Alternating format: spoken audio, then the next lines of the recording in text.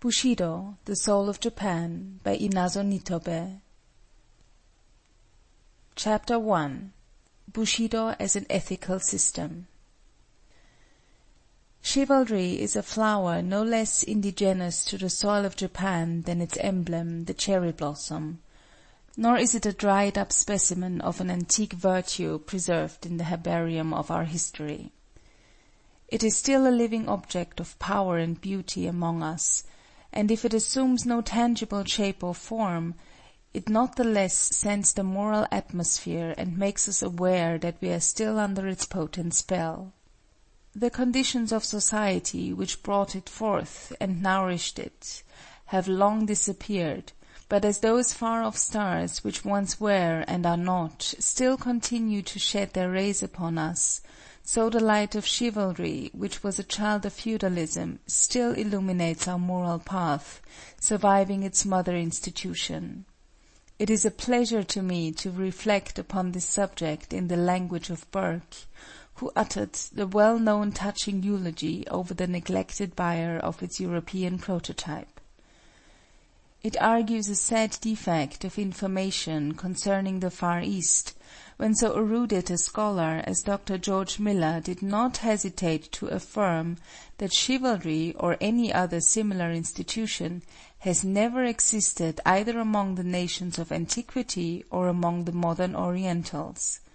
Such ignorance, however, is amply excusable, as the third edition of the good doctor's work appeared the same year that Commodore Perry was knocking at the portals of our exclusivism. More than a decade later, about the time that our feudalism was in the last throes of existence, Karl Marx, writing his "Capital," called the attention of his readers to the peculiar advantage of studying the social and political institutions of feudalism, as then to be seen in living form only in Japan. I would likewise invite the Western historical and ethical student to the study of chivalry in the Japan of the present. Enticing as is a historical disquisition on the comparison between European and Japanese feudalism and chivalry, it is not the purpose of this paper to enter into it at length. My attempt is rather to relate, firstly, the origin and sources of our chivalry; secondly, its character and teaching; thirdly, its influence among the masses, and, fourthly, the continuity and permanence of its influence. Of these several points the first will be only brief and cursory, or else I should have to take my readers into the devious paths of our national history. The second will be dwelt upon at greater length, as being most likely to interest students of international ethics and comparative ethology in our ways of thought and action, and the rest will be dealt with as corollaries. The Japanese word which I have roughly rendered chivalry is, in the original, more expressive than horsemanship. Bu-shi-do means literally military knight ways, the ways which fighting nobles should observe in their daily life as well as in their vocation; in a word, the precepts of knighthood, the noblesse oblige of the warrior class. Having thus given its literal significance, I may be allowed henceforth to use the word in the original. The use of the original term is also advisable for this reason, a teaching so circumscribed and unique, engendered as cast of mind and character so peculiar, so local, must wear the badge of its singularity on its face. Then, some words have a national timbre so expressive of race characteristics, that the best of translators can do them but scant justice, not to say positive injustice and grievance. Who can improve by translation what the German Gemüth signifies, or who does not feel the difference between the two words verbally so closely allied as the English gentleman and the French gentilhomme? Bushido, then, is the code of moral principles which the knights were required or instructed to observe. It is not a written code; at best it consists of a few maxims handed down from mouth to mouth, or coming from the pen of some well known warrior or savant. More frequently it is a code unuttered and unwritten, possessing all the more the powerful sanction of veritable deed, and of a law written on the fleshly tablets of the heart. It was founded not on the creation of one brain, however able, or on the life of a single personage, however renowned. It was an organic growth of decades and centuries of military career. It, perhaps, fills the same position in the history of ethics that the English Constitution does in political history, yet it has had nothing to compare with the Magna Charta or the Habeas Corpus Act. True, early in the seventeenth century military statutes (buke hatto) were promulgated, but their thirteen short articles were taken up mostly with marriages, castles, leagues, etc., and didactic regulations were but meagerly touched upon. We cannot, therefore, point out any definite time and place and say, "Here is its fountain head." Only as it attains consciousness in the feudal age, its origin, in respect to time, may be identified with feudalism. But feudalism itself is woven of many threads, and Bushido shares its intricate nature.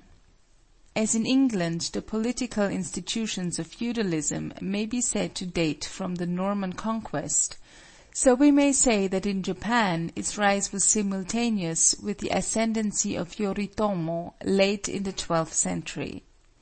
As however in England we find the social elements of feudalism far back in the period previous to William the Conqueror, so, too, the germs of feudalism in Japan had been long existent before the period I have mentioned.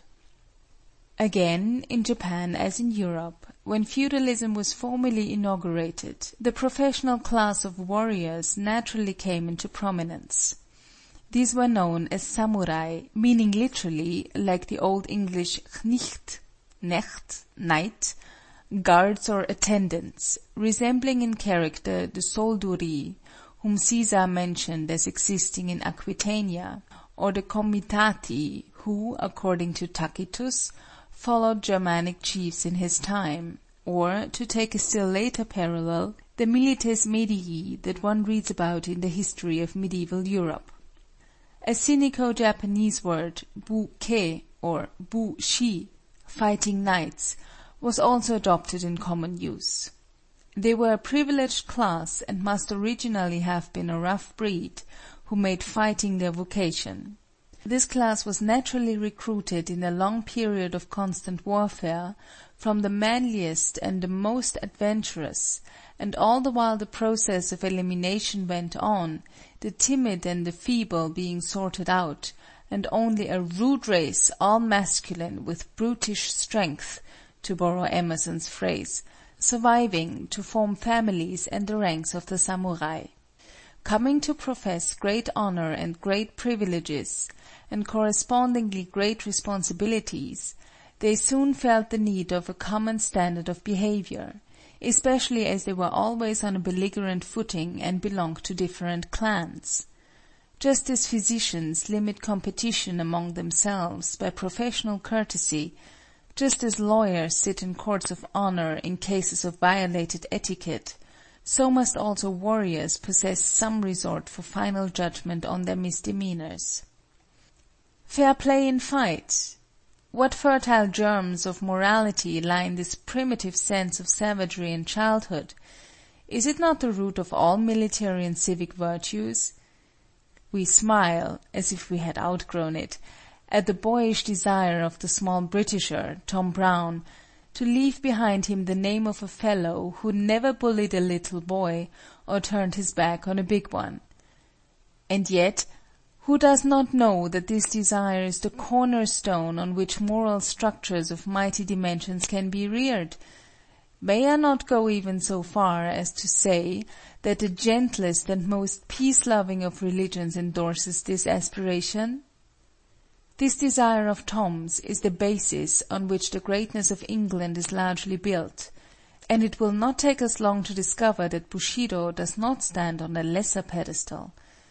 If fighting in itself, be it offensive or defensive, is, as Quakers rightly testify, brutal and wrong, we can still say with Lessing, "We know from what failings our virtue springs."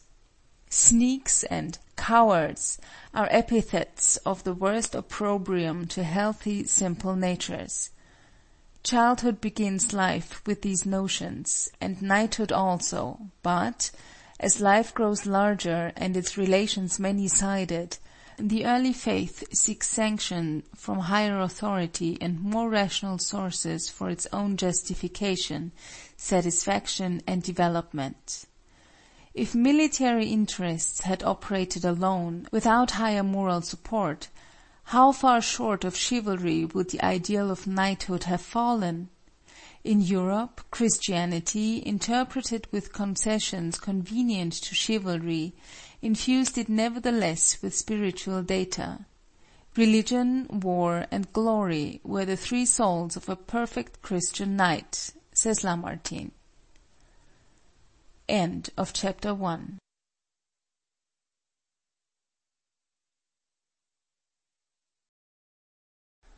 Bushido, the Soul of Japan, by Inazo Nitobe Chapter 2 Sources of Bushido In Japan there were several sources of Bushido, of which I may begin with Buddhism.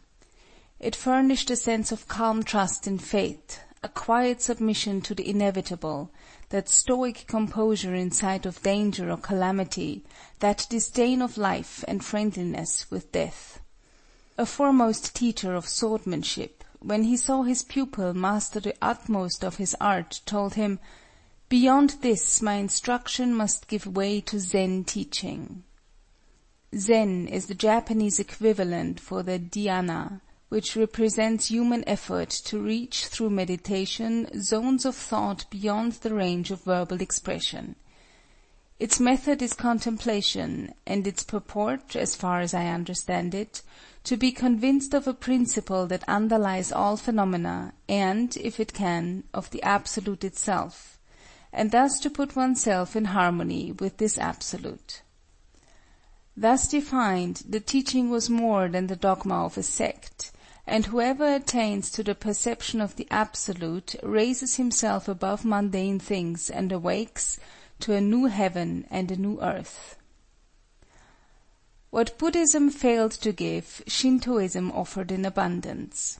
Such loyalty to the sovereign, such reverence for ancestral memory, and such filial piety as are not taught by any other creed, were inculcated by the Shinto doctrines, imparting passivity to the otherwise arrogant character of the samurai. Shinto theology has no place for the dogma of original sin.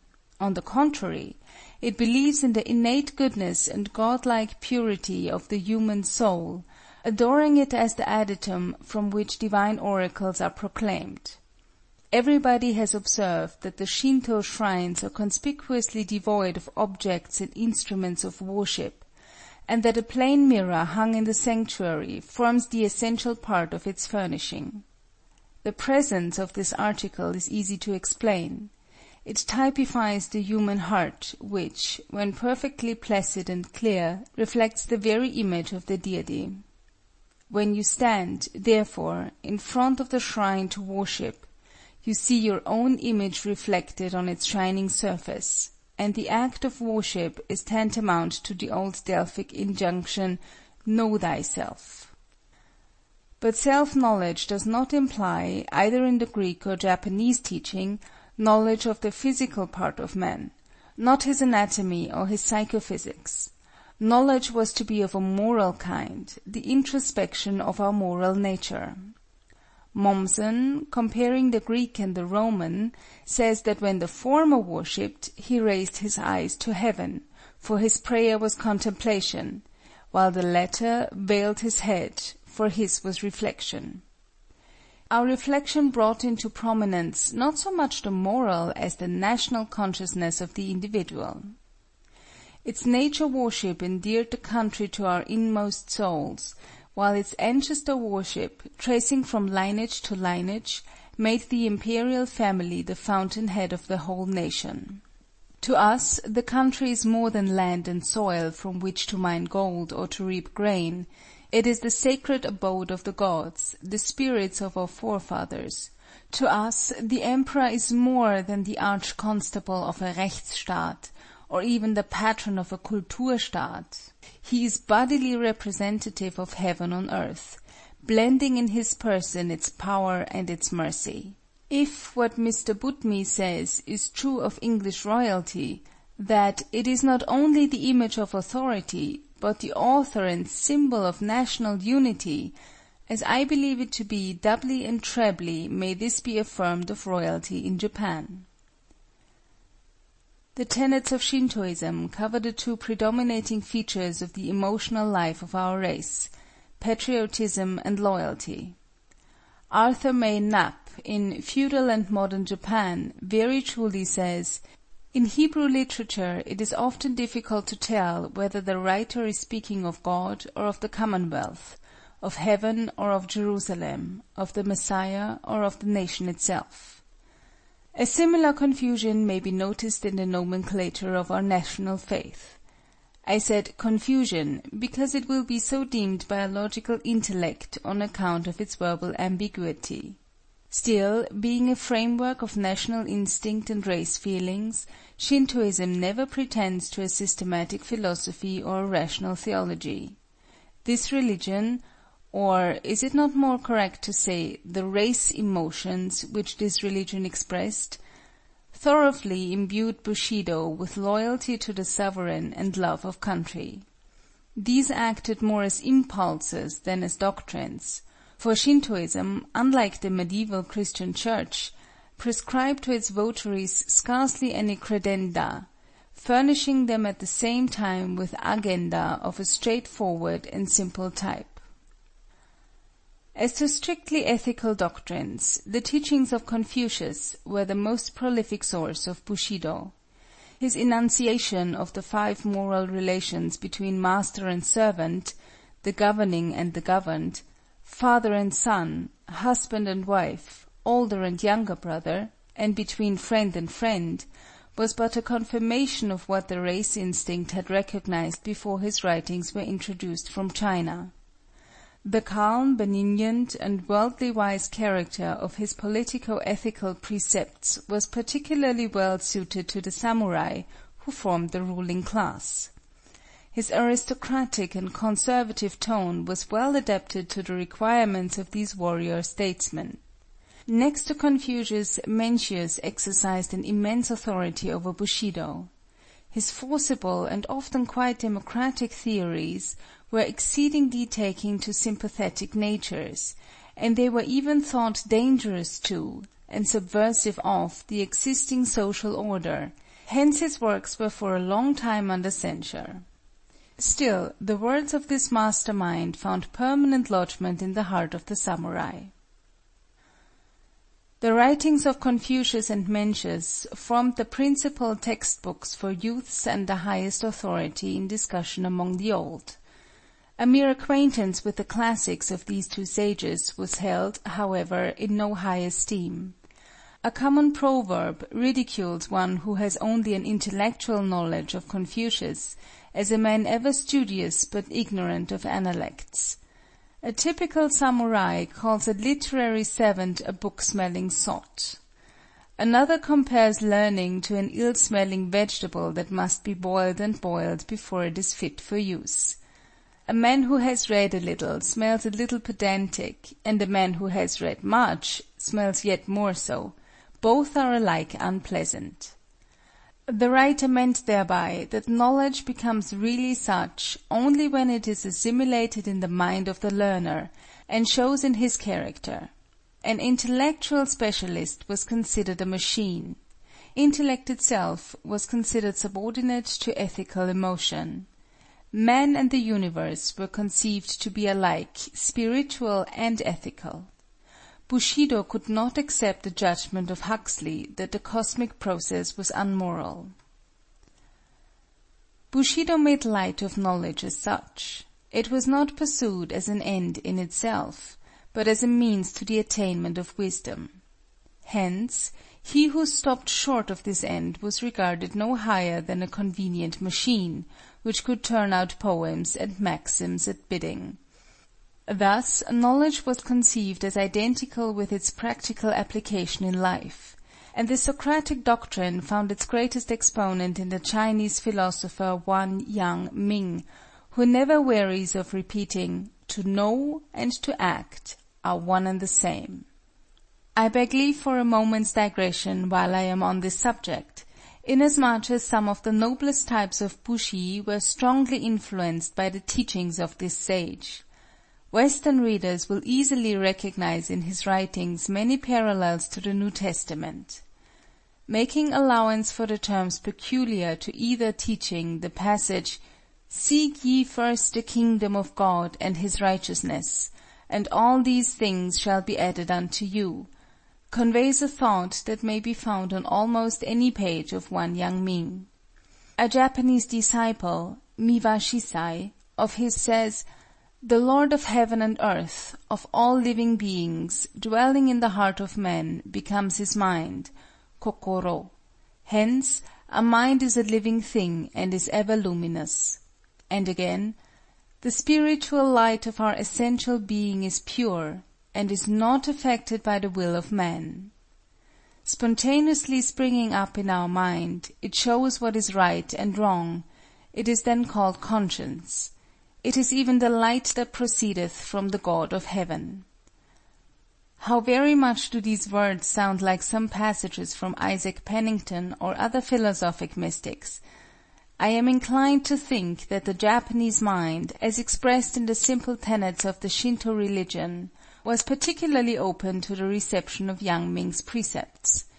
He carried his doctrine of the infallibility of conscience to extreme transcendentalism attributing to it the faculty to perceive, not only the distinction between right and wrong, but also the nature of psychical facts and physical phenomena. He went as far as, if not farther than, Berkeley and Fichte, in idealism denying the existence of things outside of human ken. If his system had all the logical errors charged to solipsism, it had all the efficacy of strong conviction, and its moral import in developing individuality of character and equanimity of temper cannot be gainsaid. Thus, whatever the sources, the essential principles which Bushido imbibed from them and assimilated to itself were few and simple. Few and simple as these were, they were sufficient to furnish a safe conduct of life even through the unsafest days of the most unsettled period of our nation's history. The wholesome, unsophisticated nature of our warrior ancestors derived ample food for their spirit from a sheaf of commonplace and fragmentary teachings, gleaned as it were on the highways and byways of ancient thought, and, stimulated by the demands of the age, formed from these gleanings a new and unique type of manhood. An acute French savant, M. de la Mazelière, thus sums up his impressions of the sixteenth century: "Toward the middle of the sixteenth century, all is confusion in Japan, in the government, in society, in the church. But the civil wars, the manners returning to barbarism, the necessity for each to execute justice for himself, these formed men comparable to those Italians of the sixteenth century in whom Taine praises the vigorous initiative, the habit of sudden resolutions and desperate undertakings, the grand capacity to do and to suffer. In Japan as in Italy, the rude manners of the Middle Ages made of man a superb animal, wholly militant and wholly resistant. And this is why the sixteenth century displays in the highest degree the principal quality of the Japanese race, that great diversity which one finds there between minds (esprits) as well as between temperaments.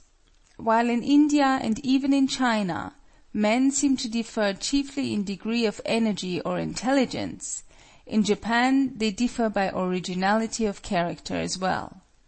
Now, individuality is the sign of superior races and of civilizations already developed.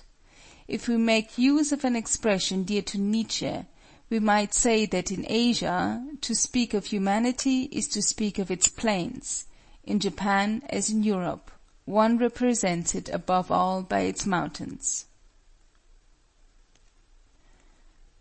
End of chapter 2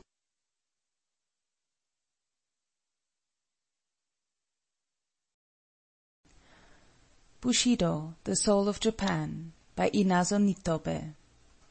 Chapter 3 Rectitude or Justice To the pervading characteristics of the men of whom M. de la Mazelière writes, let us now address ourselves.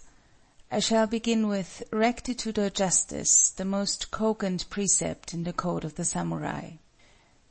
Nothing is more loathsome to him than underhand dealings and crooked undertakings. The conception of rectitude may be erroneous, it may be narrow. A well known bushi defines it as a power of resolution. Rectitude is the power of deciding upon a certain course of conduct in accordance with reason without wavering; to die when it is right to die, to strike when to strike is right. Another speaks of it in the following terms: "Rectitude is the bone that gives firmness and stature. As without bones the head cannot rest on the top of the spine nor hands move nor feet stand, so without rectitude neither talent nor learning can make of a human frame a samurai; with it the lack of accomplishments is as nothing. Mencius calls benevolence man's mind, and rectitude or righteousness his path. "How lamentable," he exclaims, "is it to neglect the path and not pursue it, to lose the mind and not know to seek it again! When men's fowls and dogs are lost, they know to seek for them again, but they lose their mind and do not know to seek for it. Have we not here, as in a glass darkly, a parable propounded three hundred years later in another clime and by a greater teacher, who called himself the Way of Righteousness, through whom the lost could be found? But I stray from my point. Righteousness according to Mencius is a straight and narrow path which a man ought to take to regain the lost paradise. Even in the latter days of feudalism, when the long continuance of peace brought leisure into the life of the warrior class, and with it dissipations of all kinds and gentle accomplishments, the epithet Gishi, a man of rectitude, was considered superior to any name that signified mastery of learning or art. The Forty seven Faithfuls, of whom so much is made in our popular education, are known in common parlance as the Forty seven Gishi. In times when cunning artifice was liable to pass for military tact and downright falsehood for ruse de guerre, this manly virtue, frank and honest, was a jewel that shone the brightest and was most highly praised. Rectitude is a twin brother to valor, another martial virtue. But before proceeding to speak of valor, let me linger a little while on what I may term a derivation from rectitude, which, at first deviating slightly from its original, became more and more removed from it, until its meaning was perverted in the popular acceptance. I speak of Giri, literally the right reason, but which came in time to mean a vague sense of duty which public opinion expected an incumbent to fulfill. In its original and unalloyed sense it meant duty, pure and simple; hence we speak of the Giri we owe to parents, to superiors, to inferiors, to society at large, and so forth. In these instances Giri is duty, for what else is duty than what right reason demands and commands us to do? Should not right reason be our categorical imperative? Giri primarily meant no more than duty, and I dare say its etymology was derived from the fact that in our conduct, say to our parents, though love should be the only motive, lacking that there must be some other authority to enforce filial piety, and they formulated this authority in Giri. Very rightly did they formulate this authority (Giri), since if love does not rush to deeds of virtue, recourse must be had to man's intellect and his reason must be quickened to convince him of the necessity of acting aright. The same is true of any other moral obligation. The instant duty becomes onerous. Right reason steps in to prevent our shirking it. Giri, thus understood, is a severe taskmaster, with a birch rod in his hand to make sluggards perform their part. It is a secondary power in ethics; as a motive it is infinitely inferior to the Christian doctrine of love, which should be the law. I deem it a product of the conditions of an artificial society of a society in which accident of birth and unmerited favor constituted class distinctions, in which the family was the social unit, in which seniority of age was of more account than superiority of talents, in which natural affections had often to succumb before arbitrary man-made customs. Because of this very artificiality. Giri in time degenerated into a vague sense of propriety called upon to explain this and sanction that; as, for example, why a mother must, if need be, sacrifice all her other children in order to save the first born; or why a daughter must sell her chastity to get funds to pay for the father's dissipation, and the like. Starting as right reason, Giri has, in my opinion, often stooped to casuistry. It has even degenerated into cowardly fear of censure. I might say of Giri what Scott wrote of patriotism, that "as it is the fairest, so it is often the most suspicious, mask of other feelings." Carried beyond or below right reason, Giri became a monstrous misnomer. It harbored under its wings every sort of sophistry and hypocrisy. It might easily have been turned into a nest of cowardice, if Bushido had not a keen and correct sense of courage, the spirit of daring and bearing, to the consideration of which we shall now return. End of chapter 3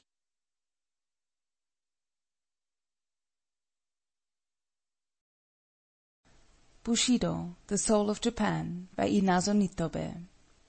Chapter IV Courage, the Spirit of Daring and Bearing Courage was scarcely deemed worthy to be counted among virtues, unless it was exercised in the cause of righteousness. In his Analects, Confucius defines courage by explaining, as is often his wont, what its negative is. Perceiving what is right he says, and doing it not argues lack of courage. Put this epigram into a positive statement and it runs, Courage is doing what is right.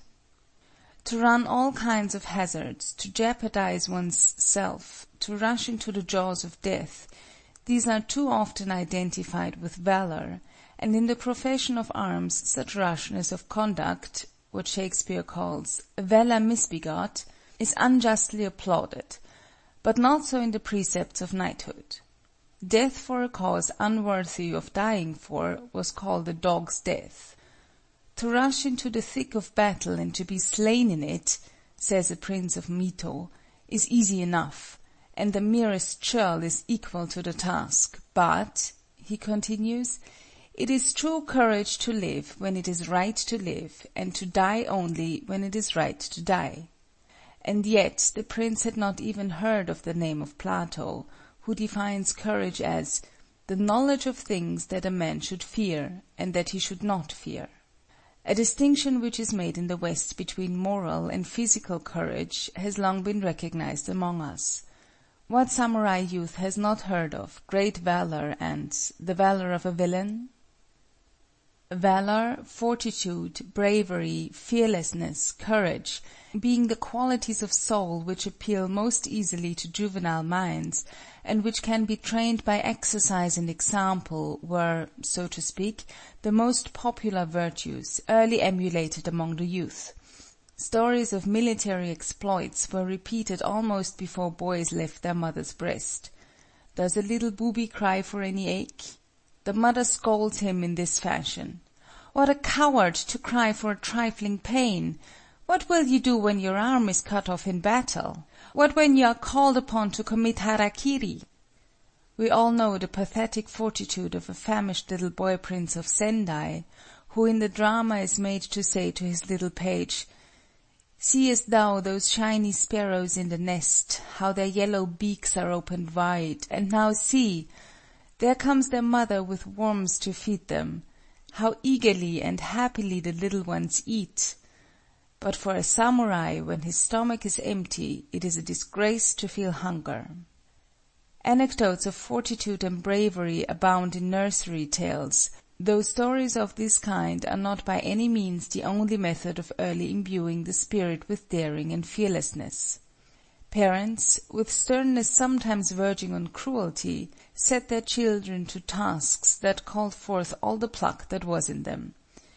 "Bears hurl their cubs down the gorge," they said. Samurai's sons were led down the steep valleys of hardship, and spurred to Sisyphus like tasks. Occasional deprivation of food or exposure to cold was considered a highly efficacious test for inuring them to endurance. Children of tender age were sent among utter strangers with some message to deliver, were made to rise before the sun, and before breakfast attend to their reading exercises, walking to their teacher with bare feet in the cold of winter. They frequently, once or twice a month as on the festival of a god of learning, came together in small groups, and passed the night without sleep, in reading aloud by turns. Pilgrimages to all sorts of uncanny places—to execution grounds, to graveyards, to houses reputed to be haunted—were favorite pastimes of the young. In the days when decapitation was public, not only were small boys sent to witness the ghastly scene, but they were made to visit alone the place in the darkness of night, and there to leave a mark of their visit on the trunkless head.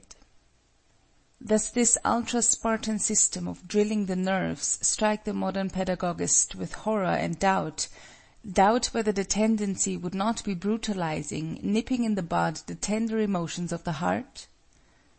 Let us see what other concepts Bushido had of valor.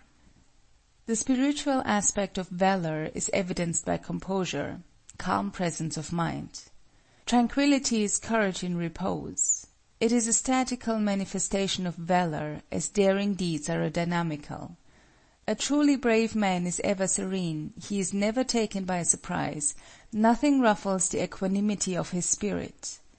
In the heat of battle he remains cool, in the midst of catastrophes he keeps level his mind.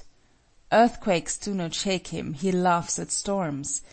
We admire him as truly great, who, in the menacing presence of danger or death, retains his self possession; who, for instance, can compose a poem under impending peril, or hum a strain in the face of death.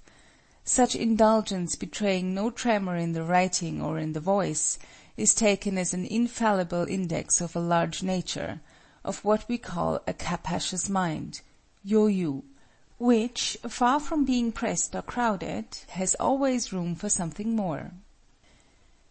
It passes current among us as a piece of authentic history that as Ota Dokan, the great builder of the castle of Tokyo, was pierced through with a spear, his assassin, knowing the poetical predilection of his victim, accompanied his thrust with this couplet Ah, how in moments like these our heart doth grudge the light of life!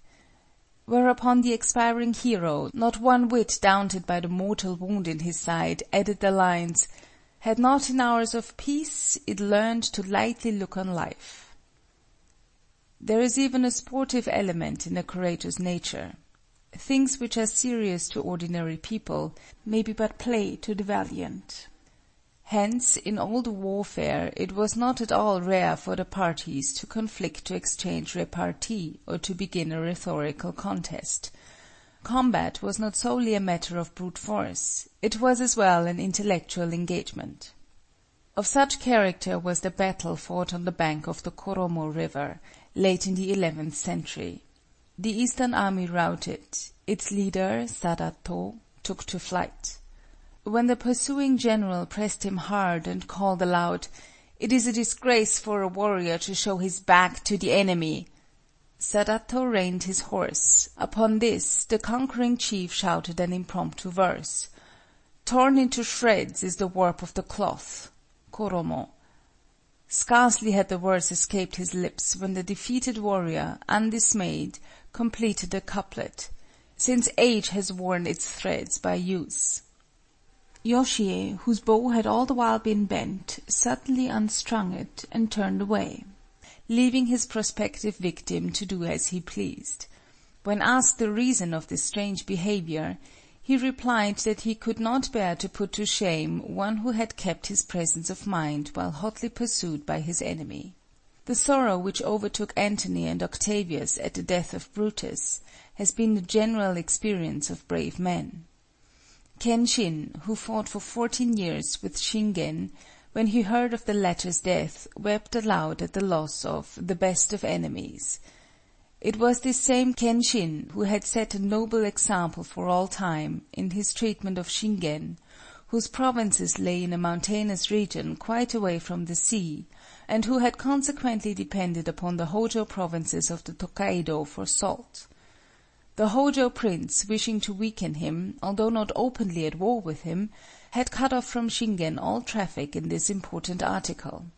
Kenshin, hearing of his enemy's dilemma, and able to obtain his salt from the coast of his own dominions, wrote Shingen that in his opinion the Hojo lord had committed a very mean act, and that although he, Kenshin, was at war with him, Shingen, he had ordered his subjects to furnish him with plenty of salt, adding, "I do not fight with salt, but with the sword," affording more than a parallel to the words of Camillus, "We Romans do not fight with gold, but with iron."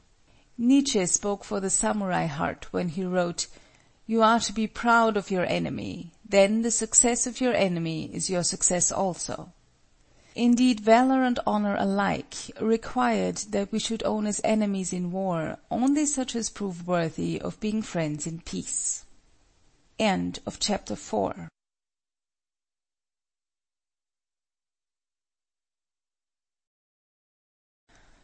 Bushido, The Soul of Japan by Inazo Nitobe. Chapter 5 Benevolence, The Feeling of Distress.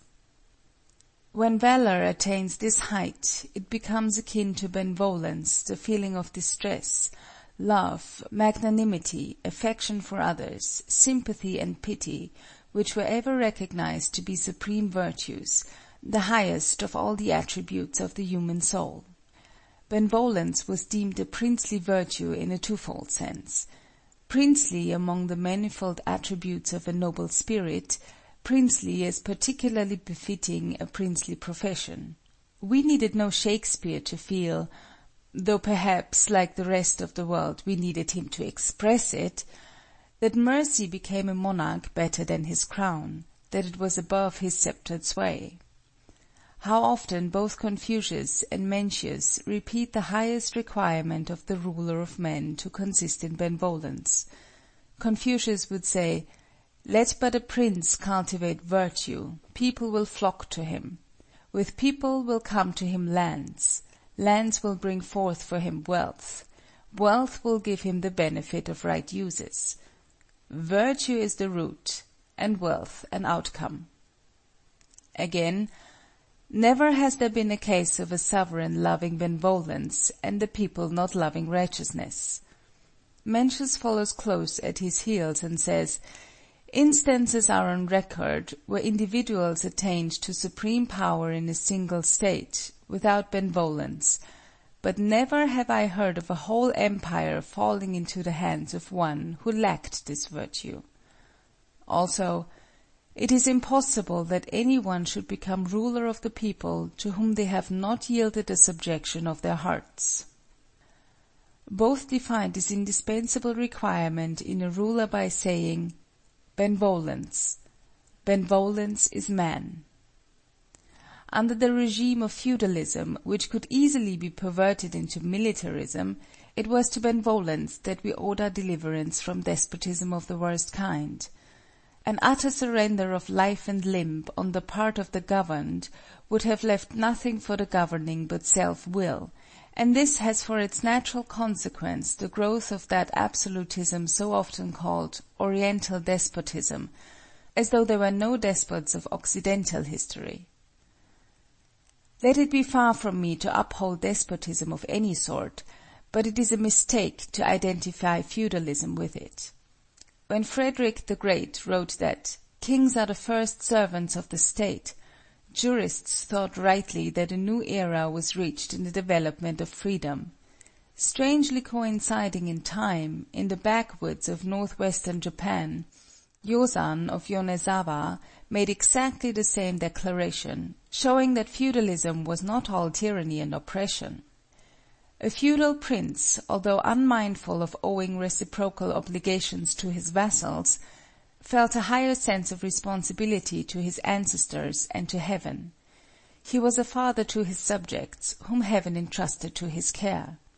In a sense not usually assigned to the term, Bushido accepted and corroborated paternal government, paternal also as opposed to the less interested avuncular government, Uncle Sam's to wit, the difference between a despotic and a paternal government lies in this, that in the one the people obey reluctantly, while in the other they do so with that proud submission, that dignified obedience, that subordination of heart which kept alive, even in servitude itself, the spirit of exalted freedom.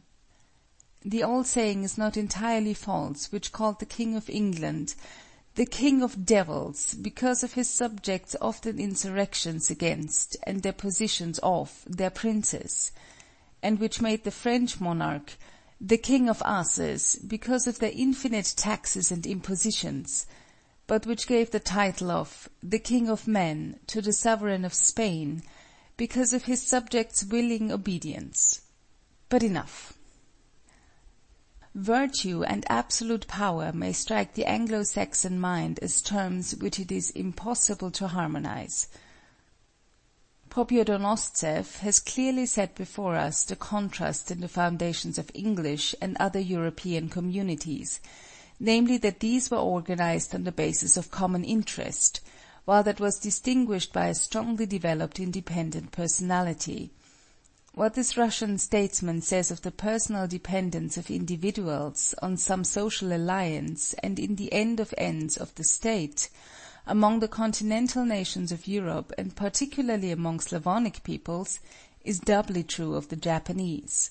Hence not only is a free exercise of monarchical power not felt as heavily by us as in Europe, but it is generally moderated by parental consideration for the feelings of the people.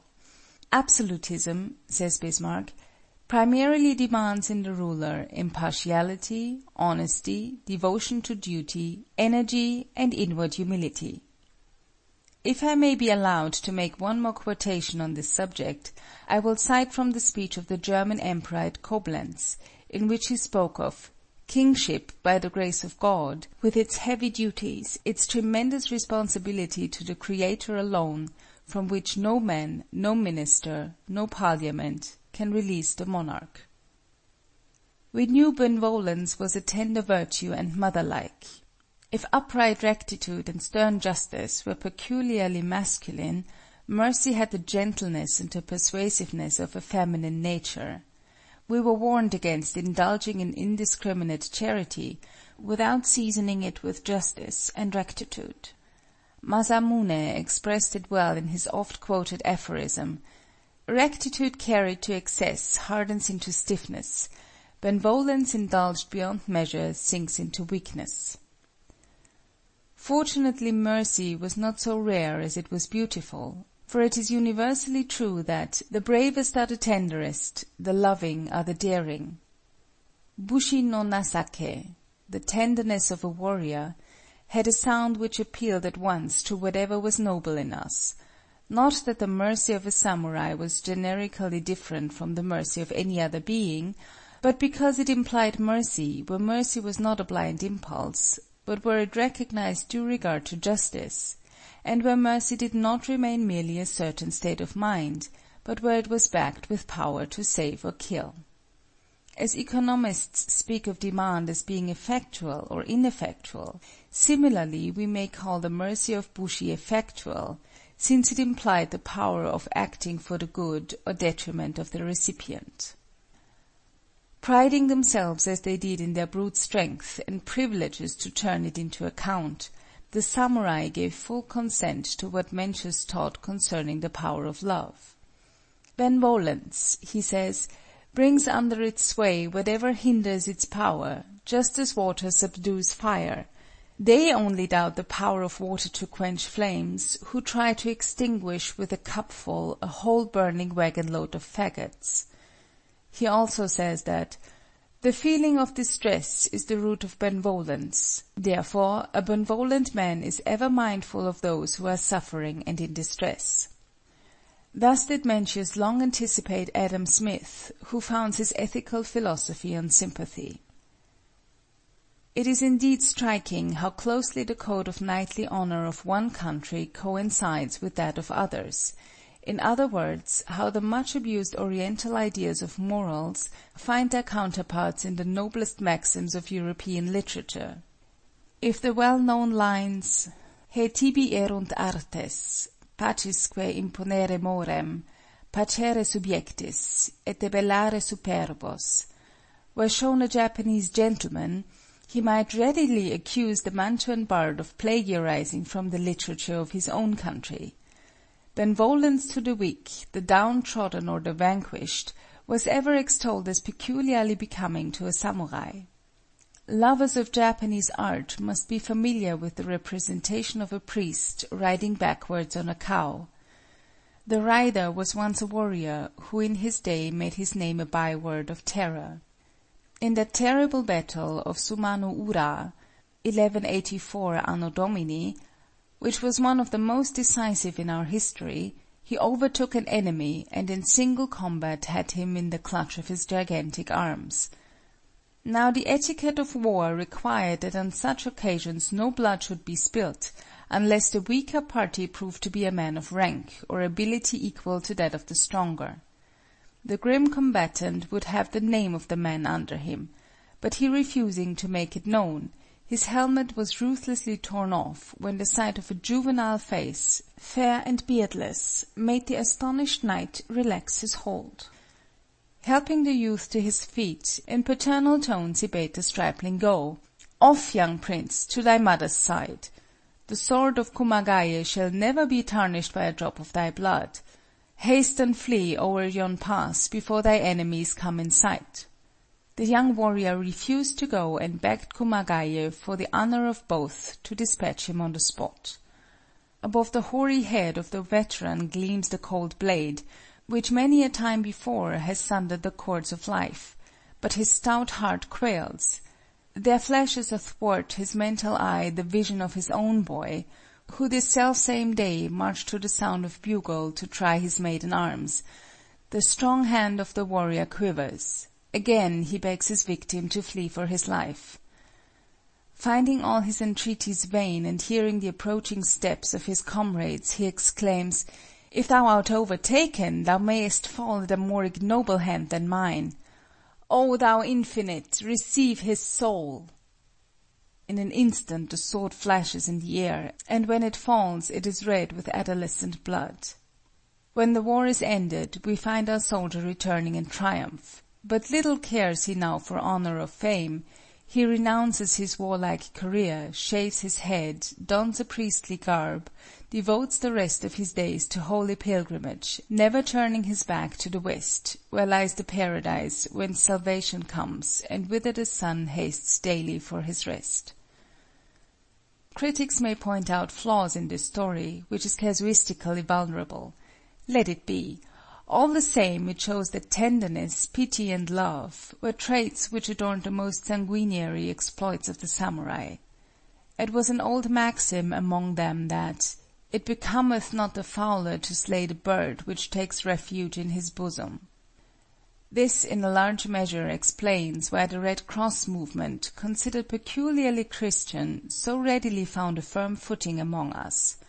For decades before we heard of the Geneva Convention, Bakin, our greatest novelist, has familiarized us with the medical treatment of a fallen foe. In the principality of Satsuma, noted for its martial spirit and education, the custom prevailed for young men to practice music,—not the blast of trumpets or the beat of drums,—those clamorous harbingers of blood and death, stirring us to imitate the actions of a tiger,—but sad and tender melodies on the biwa, a musical instrument resembling the guitar, soothing our fiery spirits, drawing our thoughts away from scent of blood and scenes of carnage. Polybius tells us of the constitution of Arcadia, which required all youths under thirty to practice music, in order that this gentle art might alleviate the rigors of that inclement region. It is to its influence that he attributes the absence of cruelty in that part of the Arcadian mountains. Nor was Satsuma the only place in Japan where gentleness was inculcated among the warrior class. A prince of Shirakawa jots down his random thoughts, and among them is the following: "Though they come stealing to your bedside in the silent watches of the night, drive not away, but rather cherish these, the fragrance of flowers, the sound of distant bells, the insect humming of a frosty night." And again Though they may wound your feelings, these three you have only to forgive: the breeze that scatters your flowers, the cloud that hides your moon, and the man who tries to pick quarrels with you. It was ostensibly to express, but actually to cultivate, these gentler emotions that the writing of verses was encouraged. Our poetry has therefore a strong undercurrent of pathos and tenderness. A well known anecdote of a rustic samurai illustrates a case in point.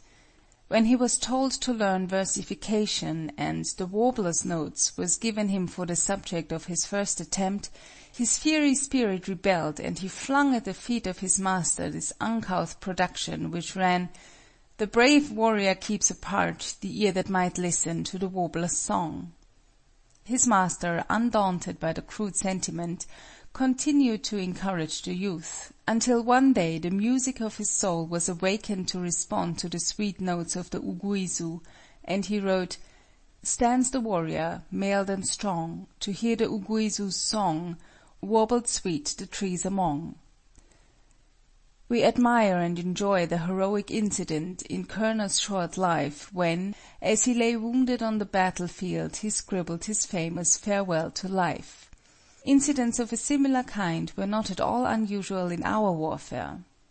Our pithy, epigrammatic poems were particularly well suited to the improvisation of a single sentiment. Everybody of any education was either a poet or a poetaster. Not infrequently a marching soldier might be seen to halt, take his writing utensils from his belt, and compose an ode and such papers were found afterward in the helmets or the breastplates, when these were removed from their lifeless wearers. End of chapter 5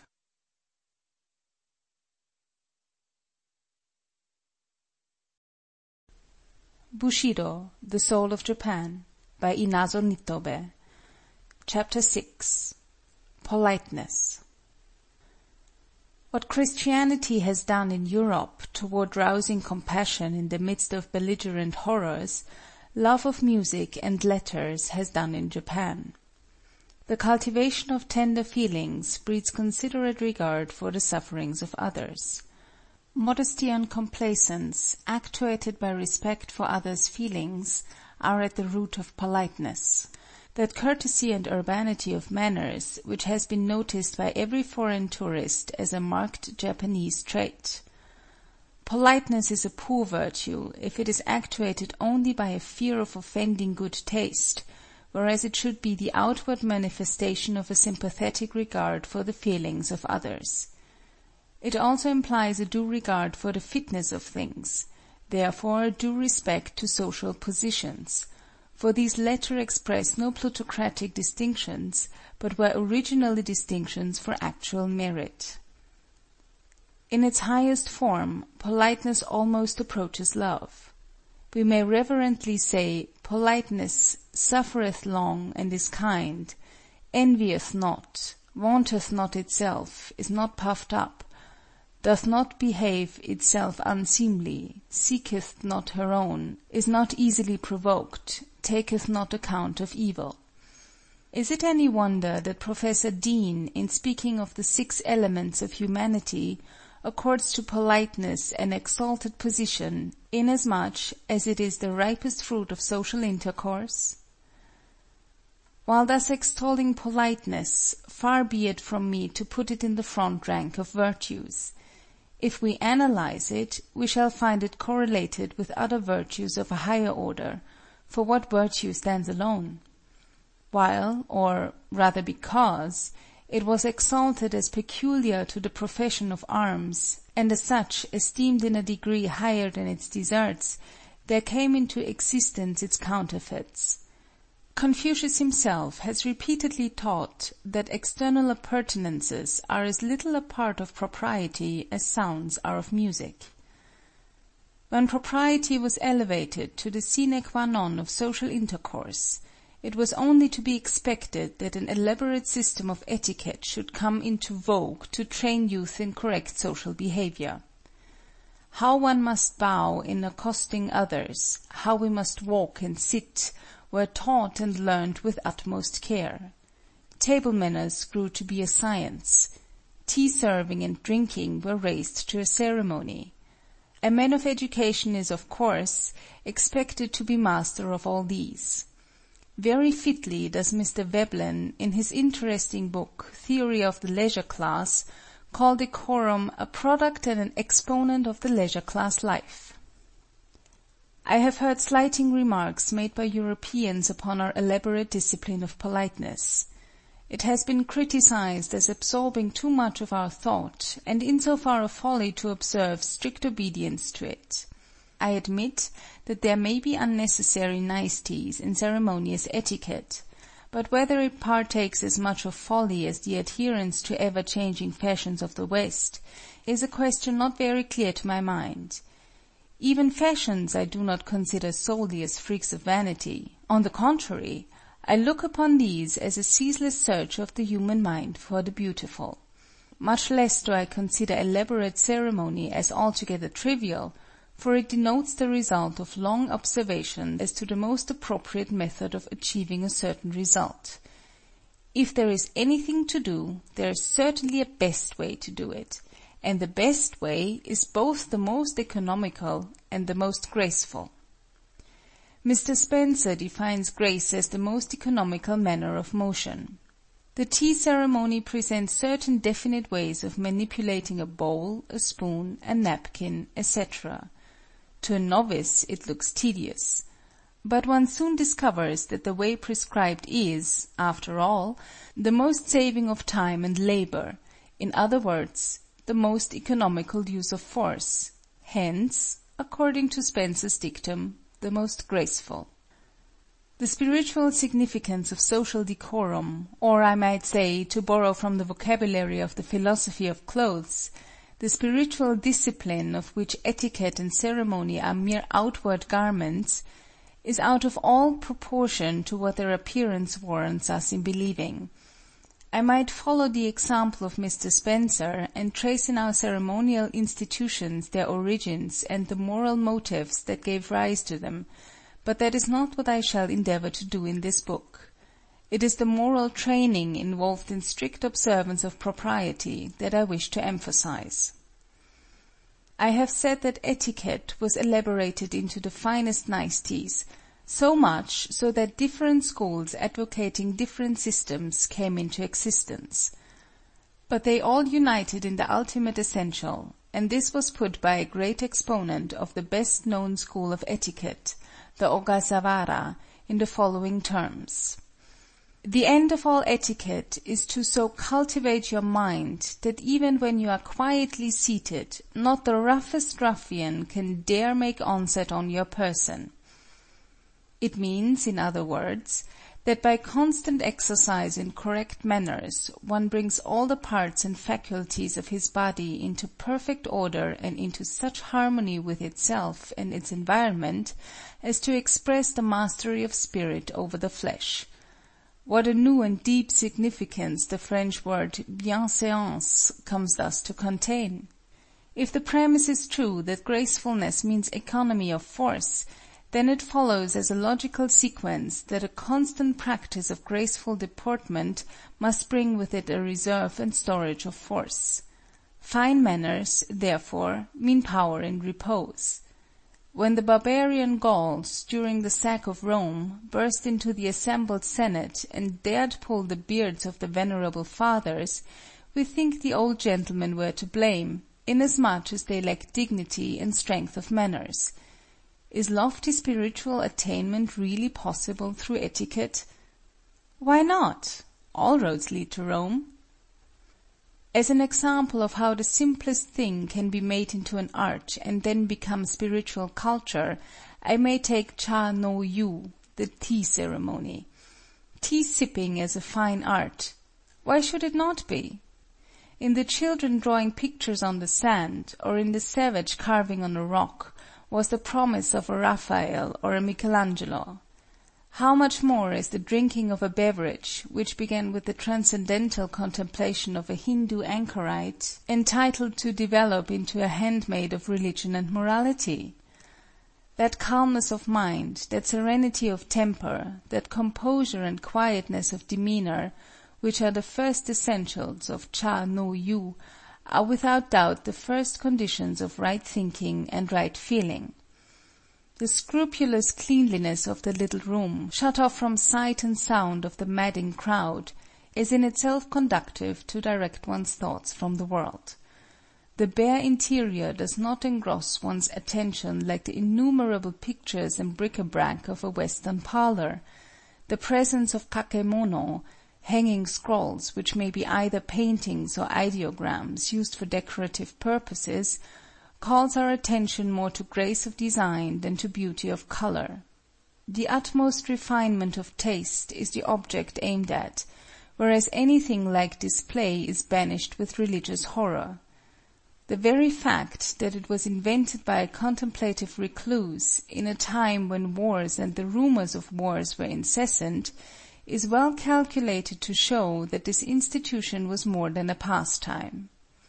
Before entering the quiet precincts of the tea room, the company assembling to partake of the ceremony laid aside, together with their swords, the ferocity of the battlefield or the cares of government, there to find peace and friendship.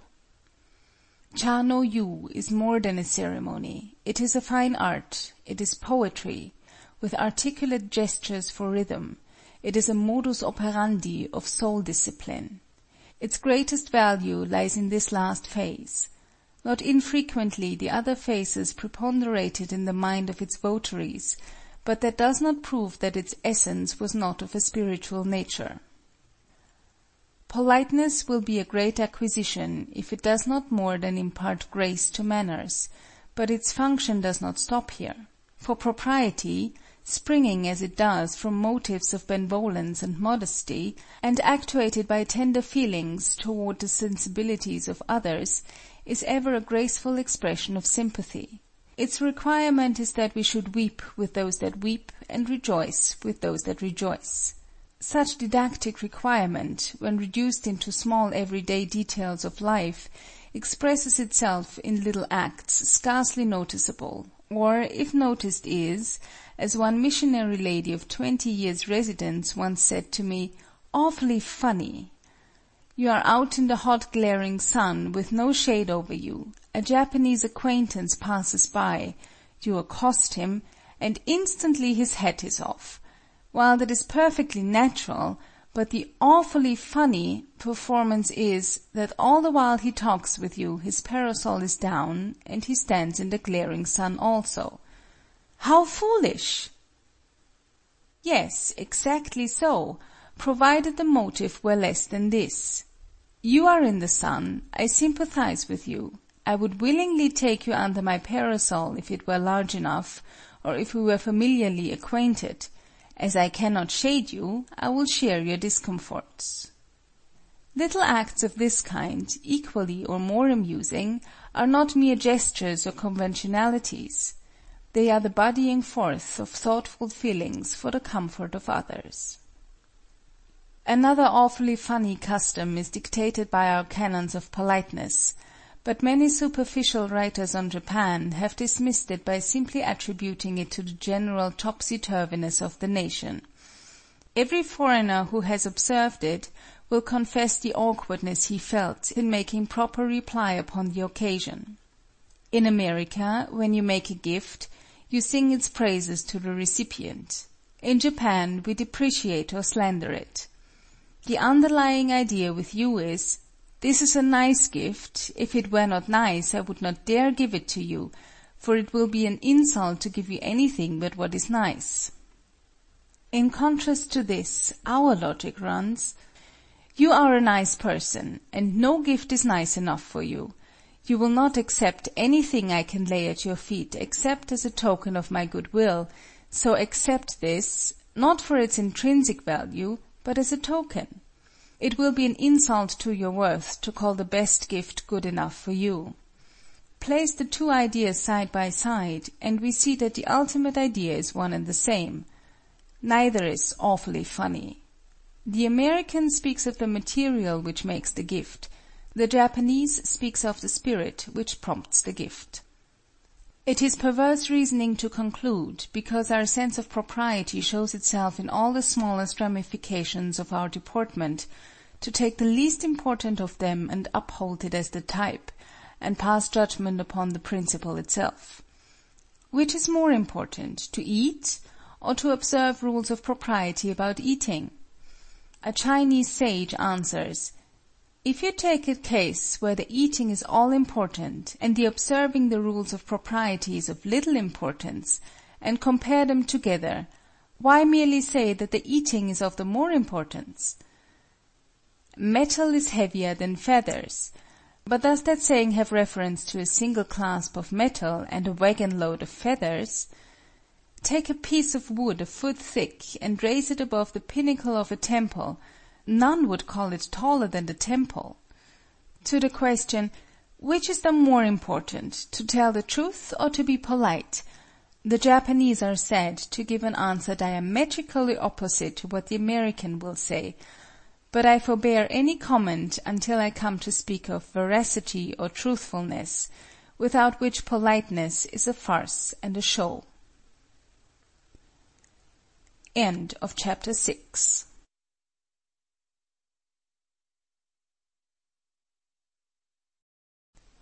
Bushido, The Soul of Japan by Inazo Nitobe. Chapter 7 Veracity or Truthfulness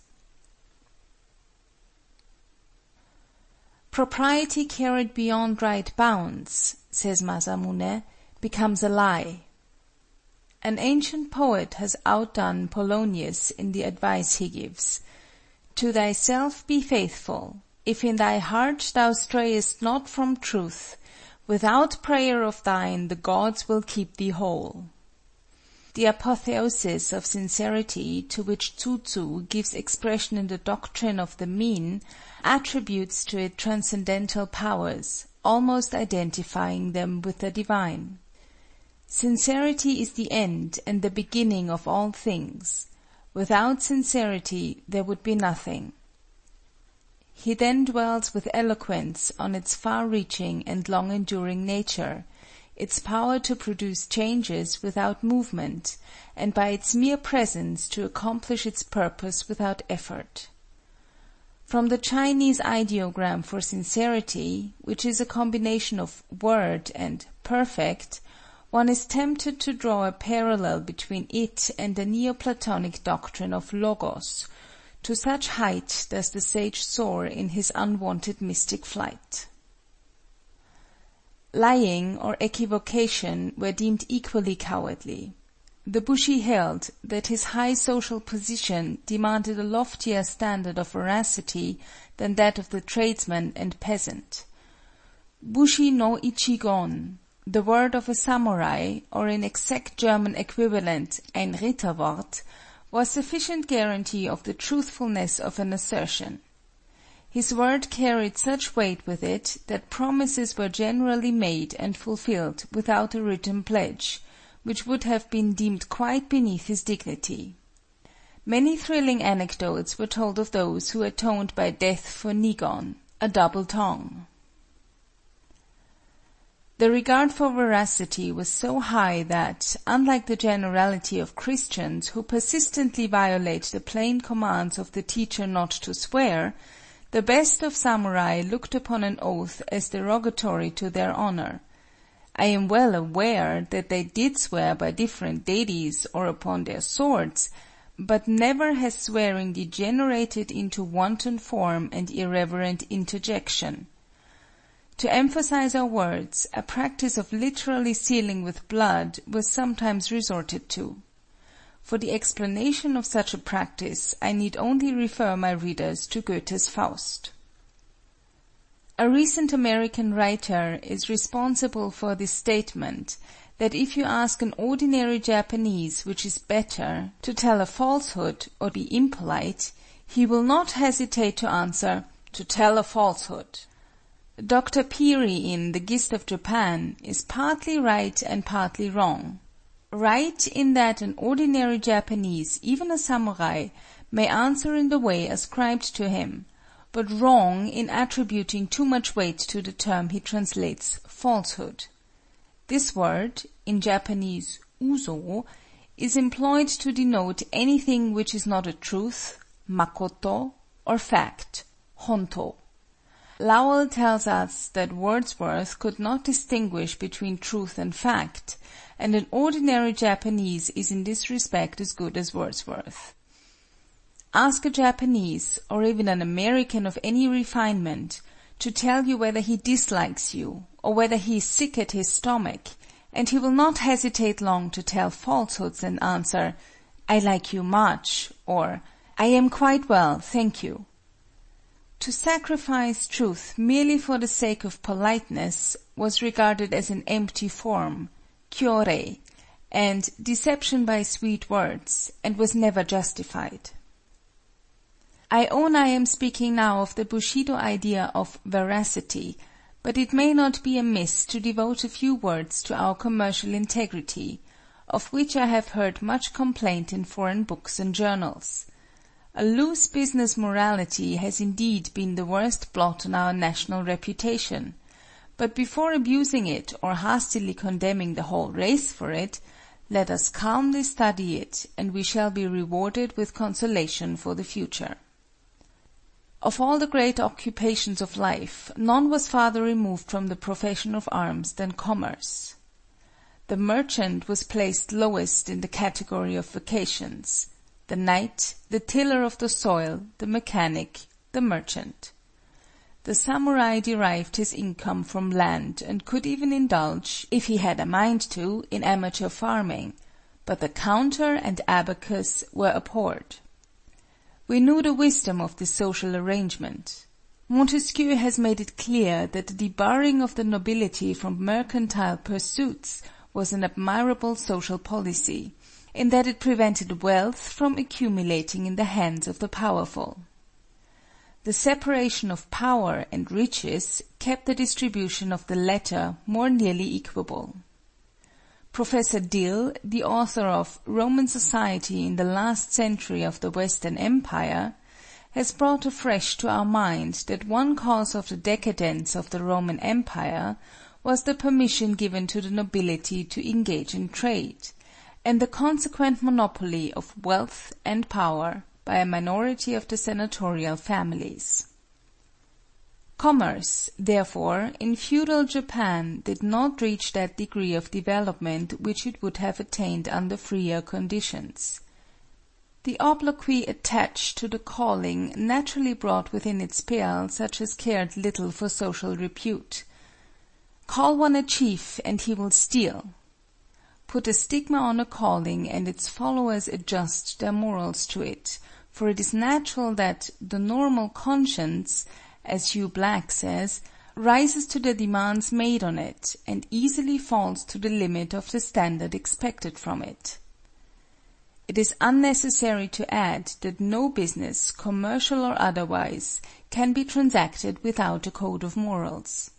Our merchants of the feudal period had one among themselves, without which they could never have developed, as they did, such fundamental mercantile institutions as the Guild, the Bank, the Bourse, insurance, checks, bills of exchange, etc. But in their relations with people outside their vocation, the tradesmen lived too true to the reputation of their order. This being the case, when the country was open to foreign trade, only the most adventurous and unscrupulous rushed to the ports, while the respectable business houses declined for some time the repeated requests of the authorities to establish branch houses.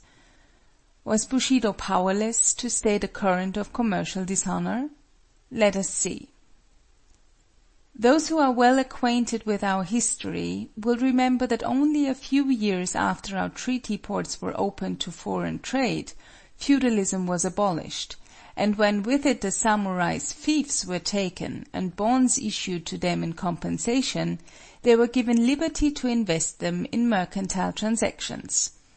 Now you may ask, why could they not bring their much boasted veracity into their new business relations and so reform the old abuses?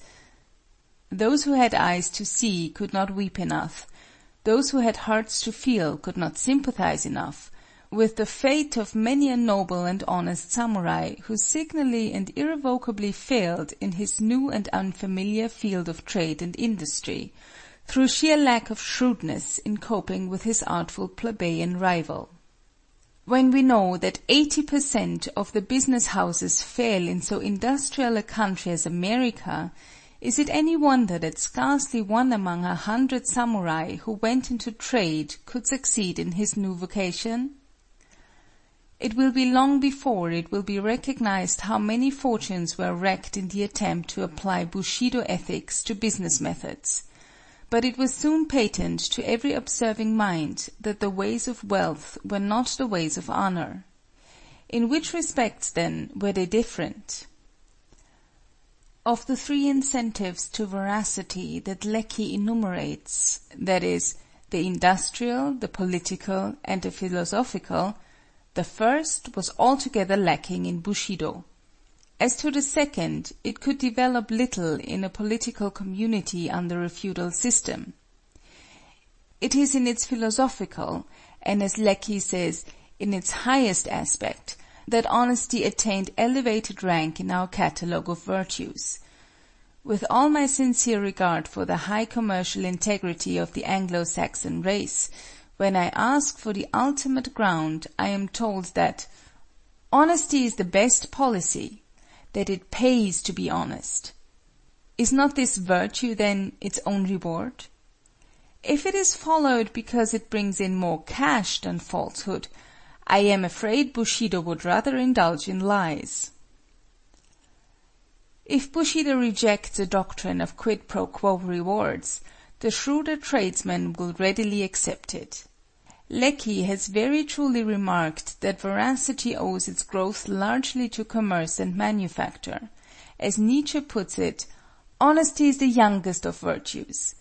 In other words, it is the foster child of industry, of modern industry. Without this mother, veracity was like a blue blood orphan whom only the most cultivated mind could adopt and nourish. Such minds were general among the samurai, but, for want of a more democratic and utilitarian foster mother, the tender child failed to thrive. Industries advancing, veracity will prove an easy, nay, a profitable virtue to practice. Just think, as late as November 1880, Bismarck sent a circular to the professional consuls of the German Empire, warning them of a lamentable lack of reliability with regard to German shipments inter alia, apparent both as to quality and quantity. Nowadays we hear comparatively little of German carelessness and dishonesty in trade. In twenty years her merchants learned that in the end honesty pays. Already our merchants are finding that out. For the rest, I recommend the reader to two recent writers for well weighed judgment on this point. Begin footnote. Knapp, Feudal and Modern Japan, and Ransome, Japan in Transition. End footnote. It is interesting to remark in this connection that integrity and honor were the surest guarantees which even a merchant debtor could present in the form of promissory notes. It was quite a usual thing to insert such clauses as these: "In default of the repayment of the sum lent to me, I shall say nothing against being ridiculed in public," or "In case I fail to pay you back, you may call me a fool," and the like. Often have I wondered whether the veracity of Bushido had any motive higher than courage. In the absence of any positive commandment against bearing false witness, lying was not condemned as sin, but simply denounced as weakness, and, as such, highly dishonorable. As a matter of fact, the idea of honesty is so intimately blended, and its Latin and its German etymology so identified with honor, that it is high time I should pause a few moments for the consideration of this feature of the Precepts of Knighthood. End of Chapter 7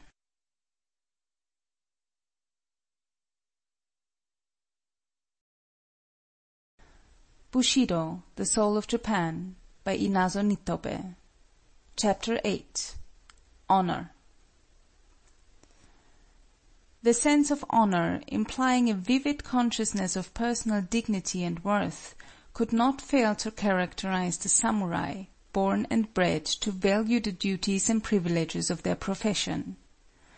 Though the word ordinarily given nowadays as the translation of honor was not used freely, Yet the idea was conveyed by such terms as na (name), menmoku (countenance), guai (outside hearing), reminding us respectively of the Biblical use of "name," of the evolution of the term "personality" from the Greek mask, and of "fame."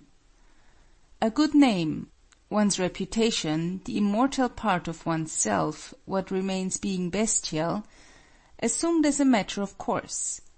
Any infringement upon its integrity was felt as shame, and the sense of shame (ren chi shin) was one of the earliest to be cherished in juvenile education.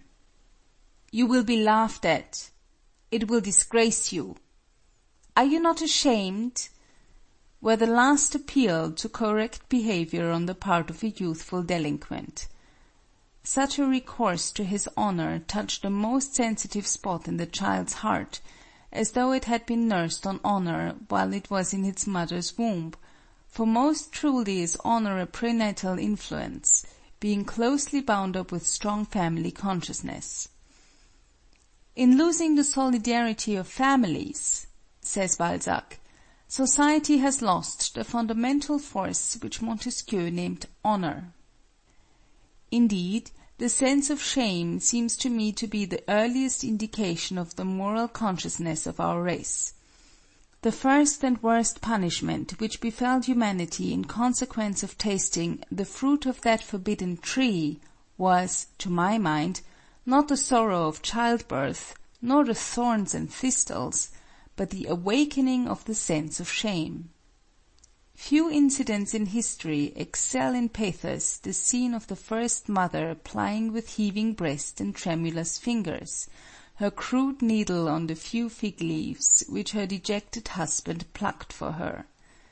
This first fruit of disobedience clings to us with a tenacity that nothing else does. All the sartorial ingenuity of mankind has not yet succeeded in sewing an apron that will efficaciously hide our sense of shame. That samurai was right who refused to compromise his character by a slight humiliation in his youth, because, he said, this honor is like a scar on a tree, which time, instead of effacing, only helps to enlarge. Mencius had taught, centuries before, in almost the identical phrase, what Carlyle has latterly expressed, namely, that "shame is the soil of all virtue, of good manners and good morals." The fear of disgrace was so great that if our literature lacks such eloquence as Shakespeare puts into the mouth of Norfolk, it nevertheless hung like Damocles' sword over the head of every samurai and often assumed a morbid character. In the name of honor, deeds were perpetrated which can find no justification in the code of Bushido.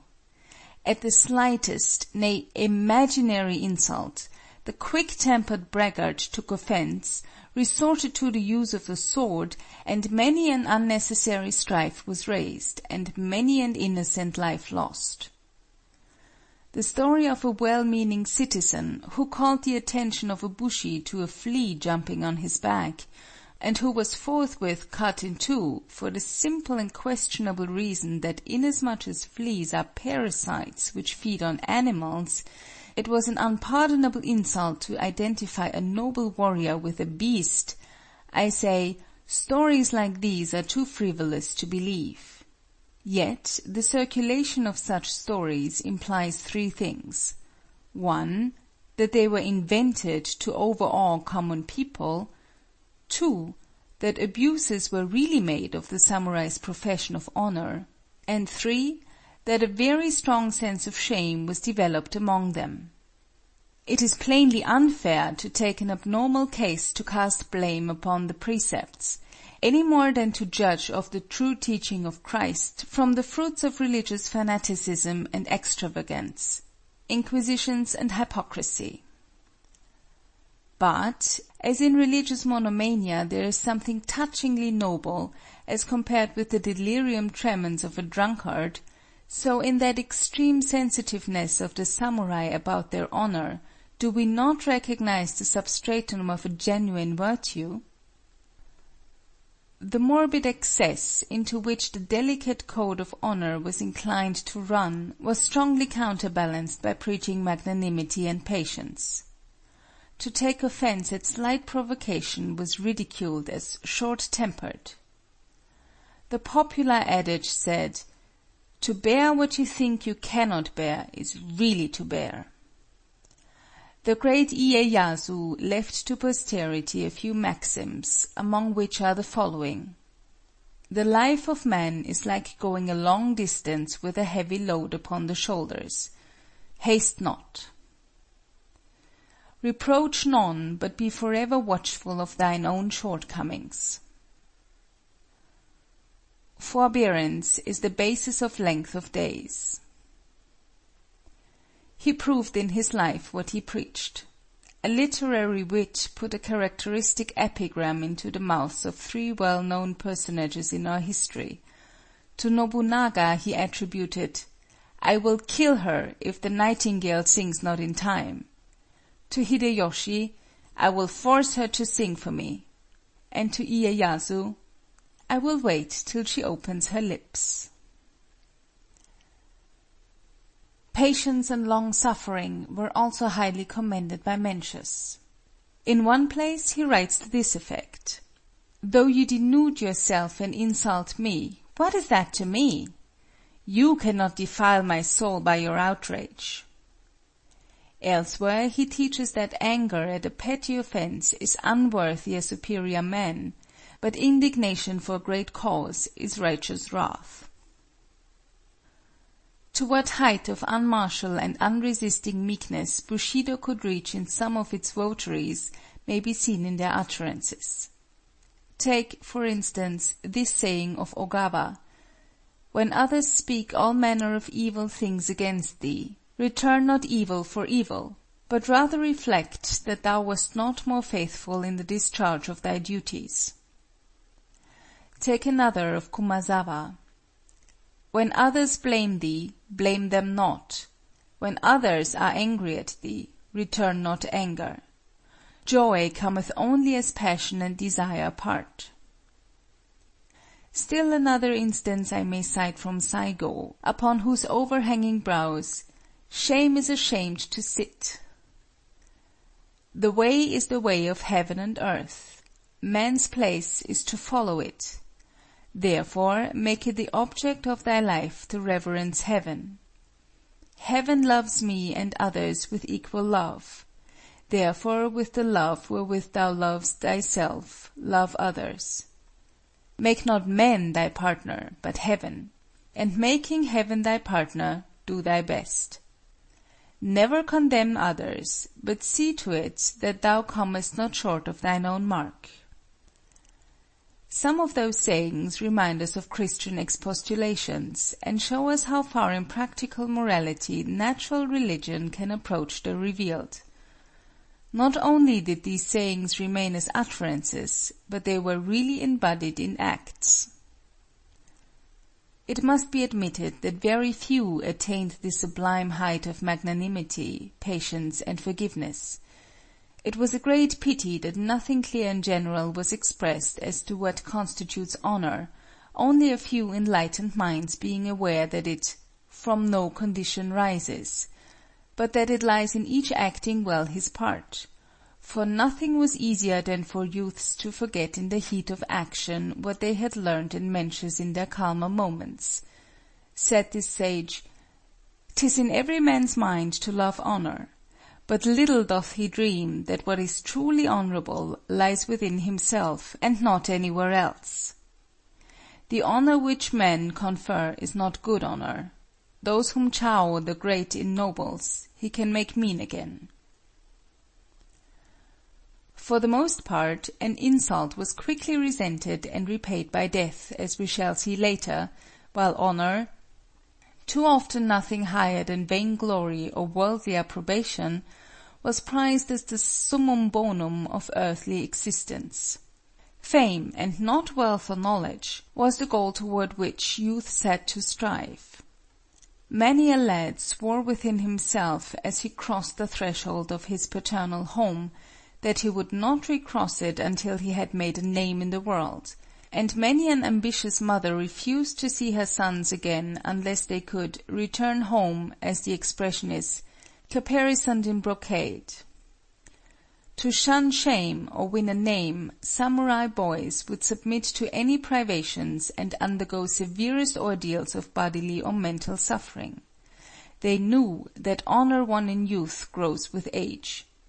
In the memorable siege of Osaka a young son of Iyeyasu, in spite of his earnest entreaties to be put in the vanguard, was placed at the rear of the army.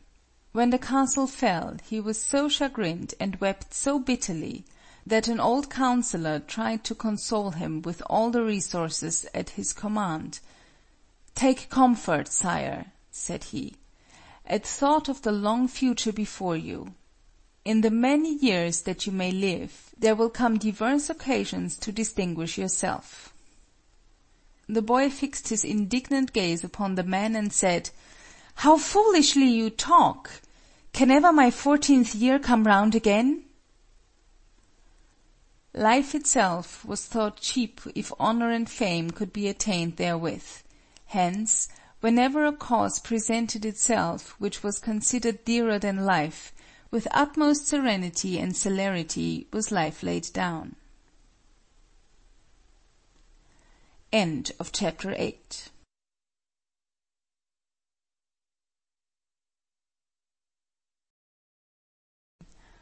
Bushido, The Soul of Japan by Inazo Nitobe. Chapter 9 The Duty of Loyalty Of the causes in comparison with which no life was too dear to sacrifice was the duty of loyalty, which was the keystone making feudal virtues a symmetrical arch. Other virtues feudal morality shares in common with other systems of ethics, with other classes of people, but this virtue, homage and fealty to a superior, is its distinctive feature. I am aware that personal fidelity is a moral adhesion existing among all sorts and conditions of men, a gang of pickpockets owe allegiance to a Fagin, but it is only in the code of chivalrous honor that loyalty assumes paramount importance. In spite of Hegel's criticism that the fidelity of feudal vassals, being an obligation to an individual and not to a commonwealth, is a bond established on totally unjust principles, a great compatriot of his made it his boast that personal loyalty was a German virtue. Bismarck had good reason to do so, not because the Treue he boasts of was the monopoly of his fatherland, or of any single nation or race, but because this favored fruit of chivalry lingers latest among the people where feudalism has lasted longest. In America, where "everybody is as good as anybody else," and, as the Irishman added, "better too," such exalted ideas of loyalty as we feel for our sovereign may be deemed excellent within certain bounds, but preposterous as encouraged among us. Montesquieu complained long ago that right on one side of the Pyrenees was wrong on the other, and the recent Dreyfus trial proved the truth of his remark, save that the Pyrenees were not the sole boundary beyond which French justice finds no accord. Similarly, loyalty as we conceive it may find few admirers elsewhere, not because our conception is wrong, but because it is, I am afraid, forgotten, and also because we carry it to a degree not reached in any other country. Griffis was quite right in stating in "Religions of Japan" that whereas in China Confucian ethics made obedience to parents the primary human duty, in Japan precedence was given to loyalty. At the risk of shocking some of my good readers, I will relate of one who could endure to follow a fallen lord, and who thus, as Shakespeare assures, earned a place i' the story. The story is of one of the purest characters in our history, Michizané, who, falling a victim to jealousy and calumny, is exiled from the capital. Not content with this, his unrelenting enemies are now bent upon the extinction of his family. Strict search for his son, not yet grown, reveals the fact of his being secreted in a village school kept by one Genzo, a former vassal of Michizané. When orders are dispatched to the schoolmaster to deliver the head of the juvenile offender on a certain day, his first idea is to find a suitable substitute for it. He ponders over his school list, scrutinizes with careful eyes all the boys as they stroll into the class room, but none among the children born of the soil bears the least resemblance to his protégé. His despair, however, is but for a moment, for, behold, a new scholar is announced, a comely boy of the same age as his master's son, escorted by a mother of noble mien. No less conscious of the resemblance between infant lord and infant retainer were the mother and the boy himself. In the privacy of home both had laid themselves upon the altar, the one his life, the other her heart, yet without sign to the outer world.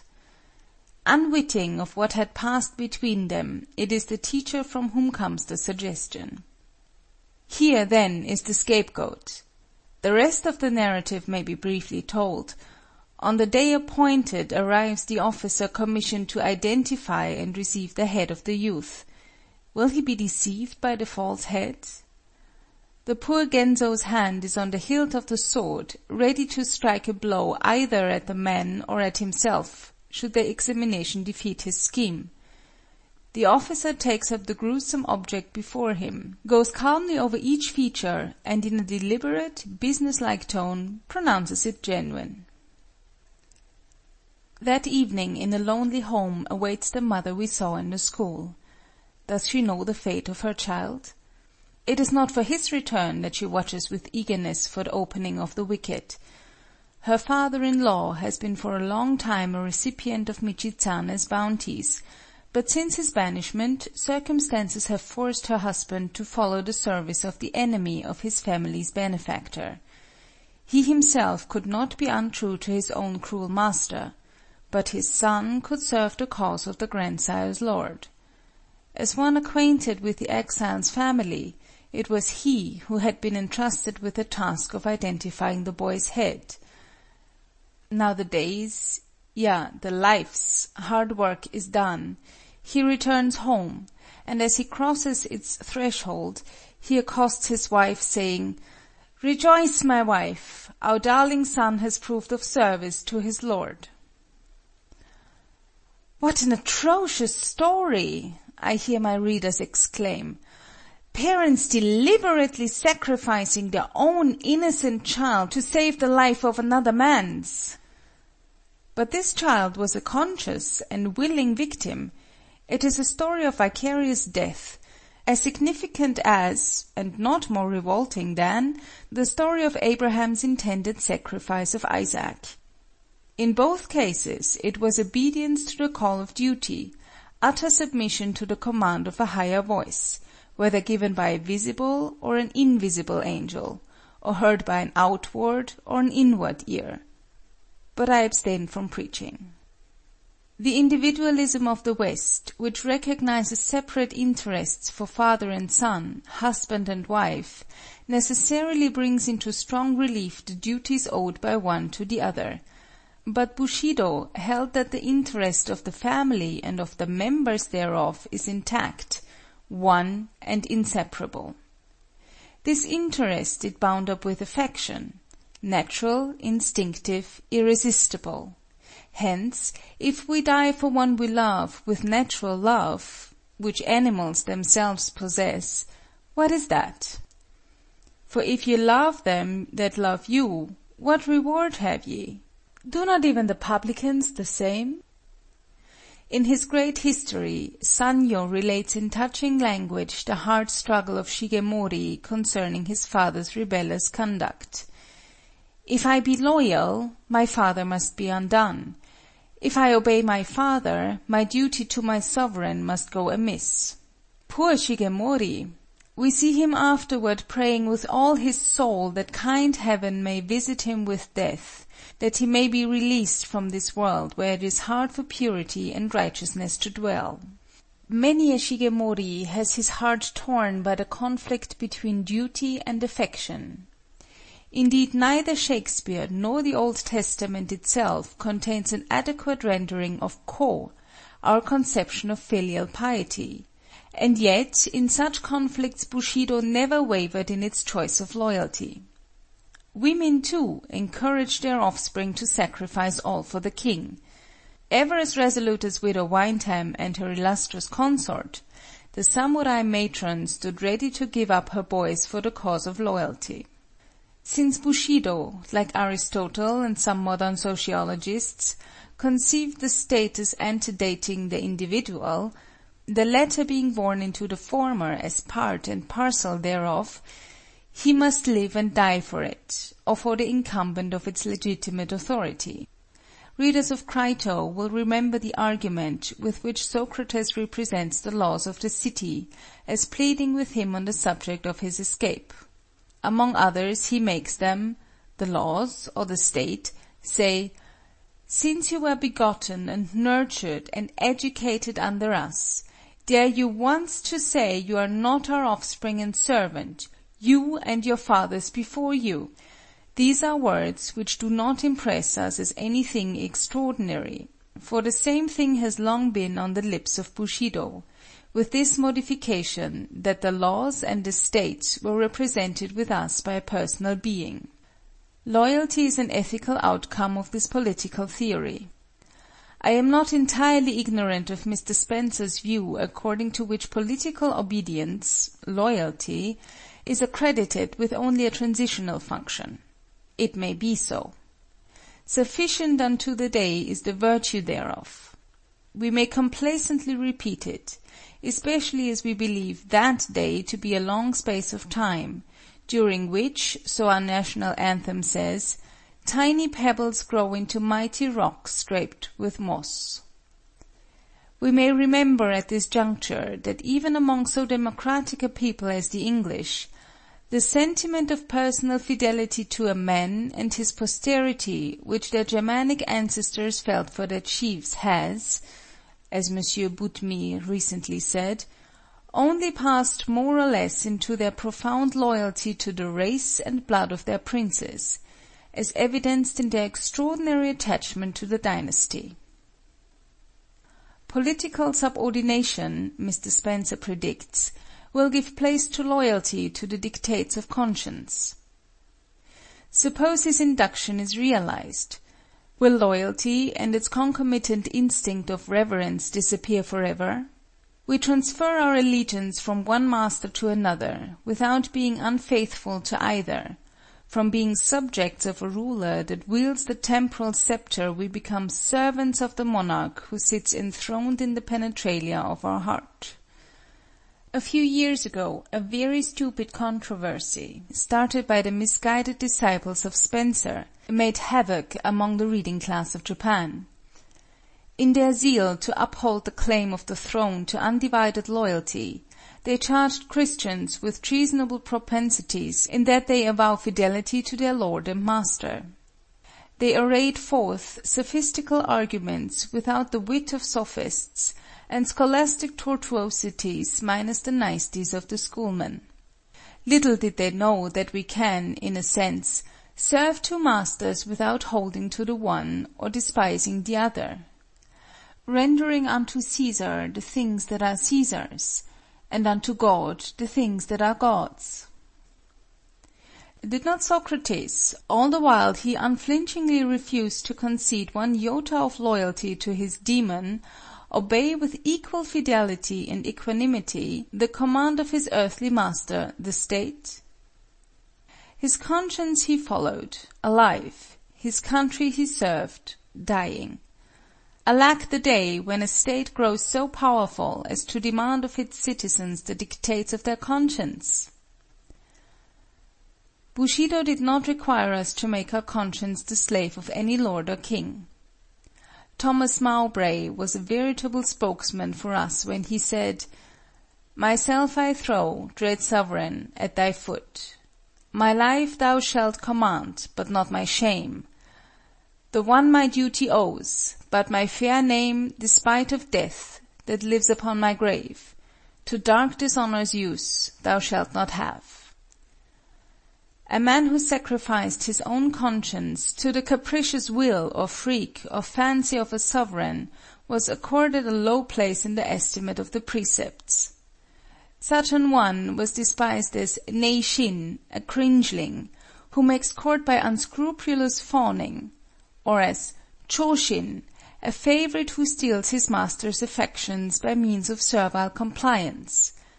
These two species of subjects corresponding exactly to those which Iago describes: the one, a duteous and knee–crooking knave, doting on his own obsequious bondage, wearing out his time much like his master's ass; the other, trimmed in forms and visages of duty, keeping yet his heart attending on himself. When a subject differed from his master, the loyal path for him to pursue was to use every available means to persuade him of his error, as Kent did to King Lear. Failing in this, let the master deal with him as he wills. In cases of this kind, it was quite the usual course for the samurai to make the last appeal to the intelligence and conscience of his lord by demonstrating the sincerity of his words with the shedding of his own blood. End of chapter 9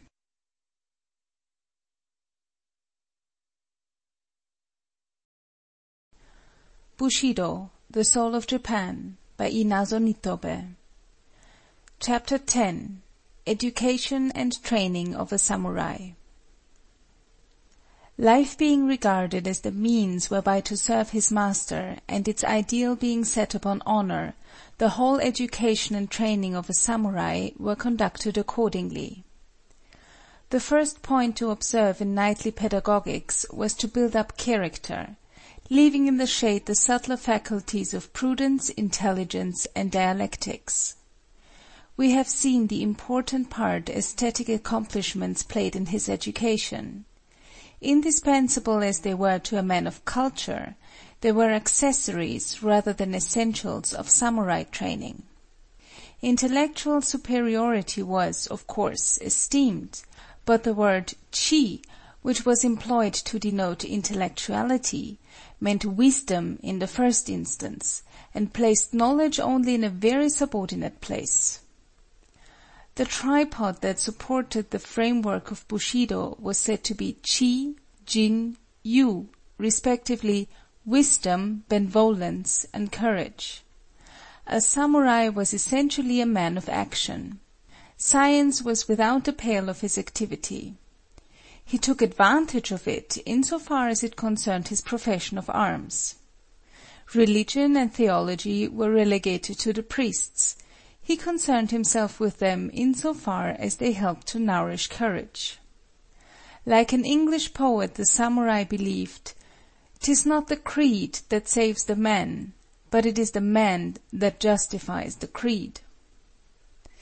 Philosophy and literature formed the chief part of his intellectual training. But even in the pursuit of these, it was not objective truth that he strove after.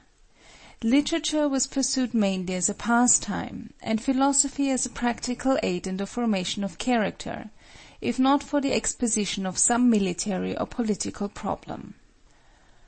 From what has been said, it will not be surprising to note that the curriculum of studies, according to the pedagogics of Bushido, consisted mainly of the following fencing, archery, jiu-jitsu or yawara, horsemanship, the use of the spear, tactics, calligraphy, ethics, literature and history. Of these, jiu-jitsu and calligraphy may require a few words of explanation. Great stress was laid on good writing, probably because our logograms, partaking as they do of the nature of pictures, possess artistic value, and also because chirography was accepted as indicative of one's personal character. Jiu-jitsu may be briefly defined as an application of anatomical knowledge to the purpose of offense or defense. It differs from wrestling in that it does not depend upon muscular strength. It differs from other forms of attack in that it uses no weapon. Its feat consists in clutching or striking such part of the enemy's body as will make him numb and incapable of resistance. Its object is not to kill, but to incapacitate one for action for the time being.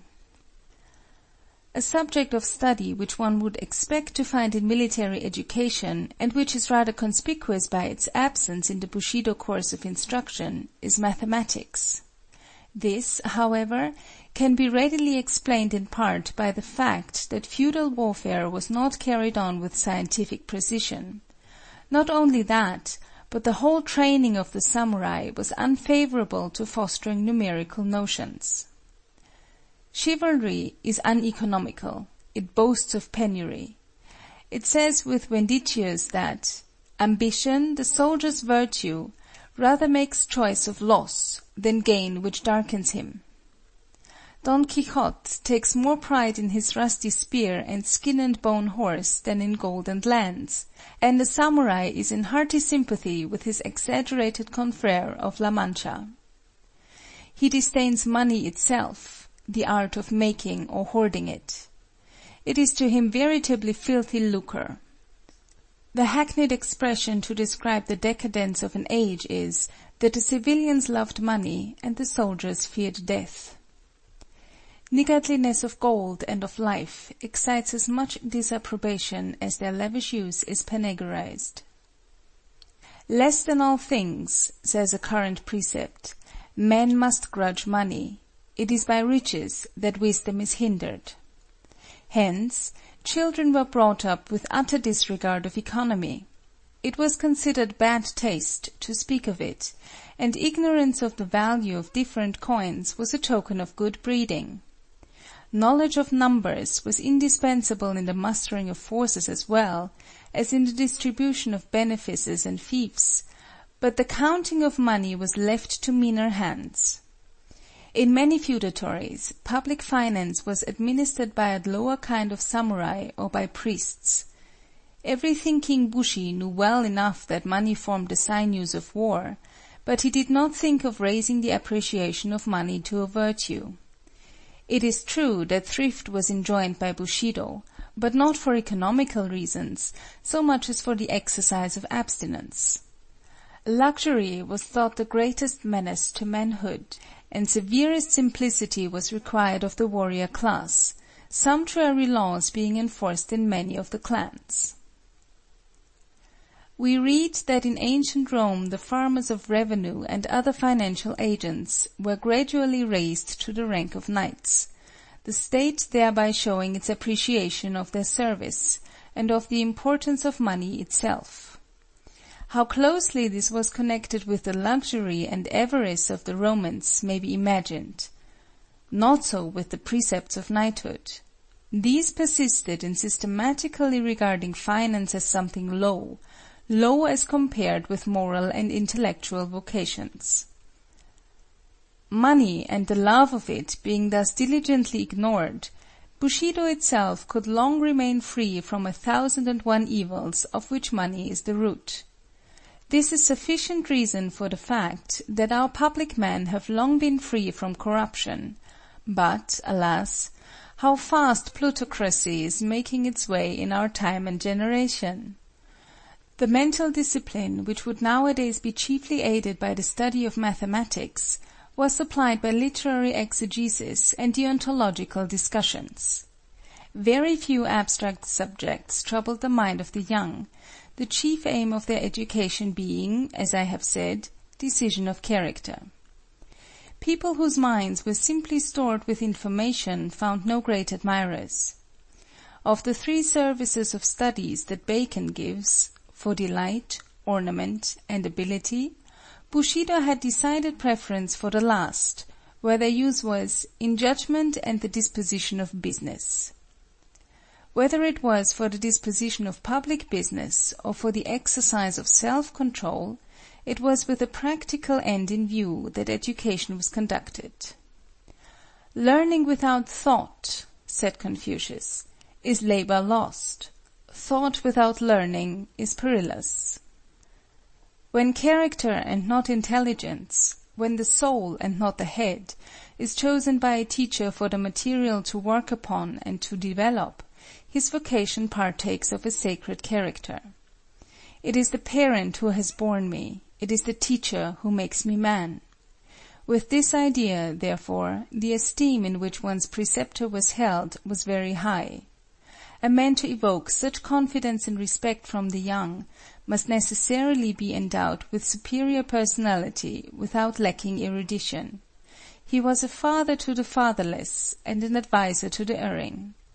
"Thy father and thy mother," so runs our maxim, "are like heaven and earth; thy teacher and thy lord are like the sun and moon."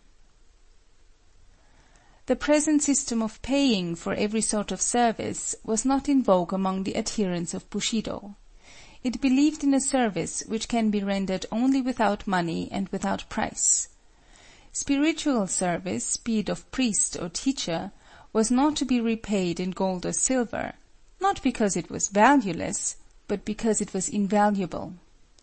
Here the non-arithmetical honored instinct of Bushido taught a truer lesson than modern political economy for wages and salaries can be paid only for services whose results are definite, tangible, and measurable, whereas the best service done in education, namely in soul development, and this includes the services of a pastor, is not definite, tangible, or measurable. Being immeasurable, money, the ostensible measure of value, is of inadequate use. Usage sanctioned that pupils brought to their teachers money or goods at different seasons of the year, but these were not payments but offerings, which indeed were welcome to the recipients as they were usually men of stern caliber, boasting of honorable penury, too dignified to work with their hands, and too proud to beg. They were grave personifications of high spirits undaunted by adversity. They were an embodiment of what was considered as an end of all learning, and were thus a living example of that discipline of disciplines, self control, which was universally required of samurai. End of chapter 10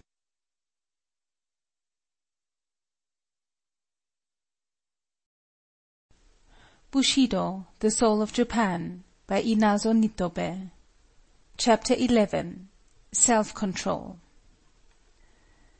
The discipline of fortitude on the one hand, inculcating endurance without a groan, and the teaching of politeness on the other, requiring us not to mar the pleasure or serenity of another by manifestations of our own sorrow or pain, combined to engender a stoical turn of mind, and eventually to confirm it into a national trait of apparent stoicism.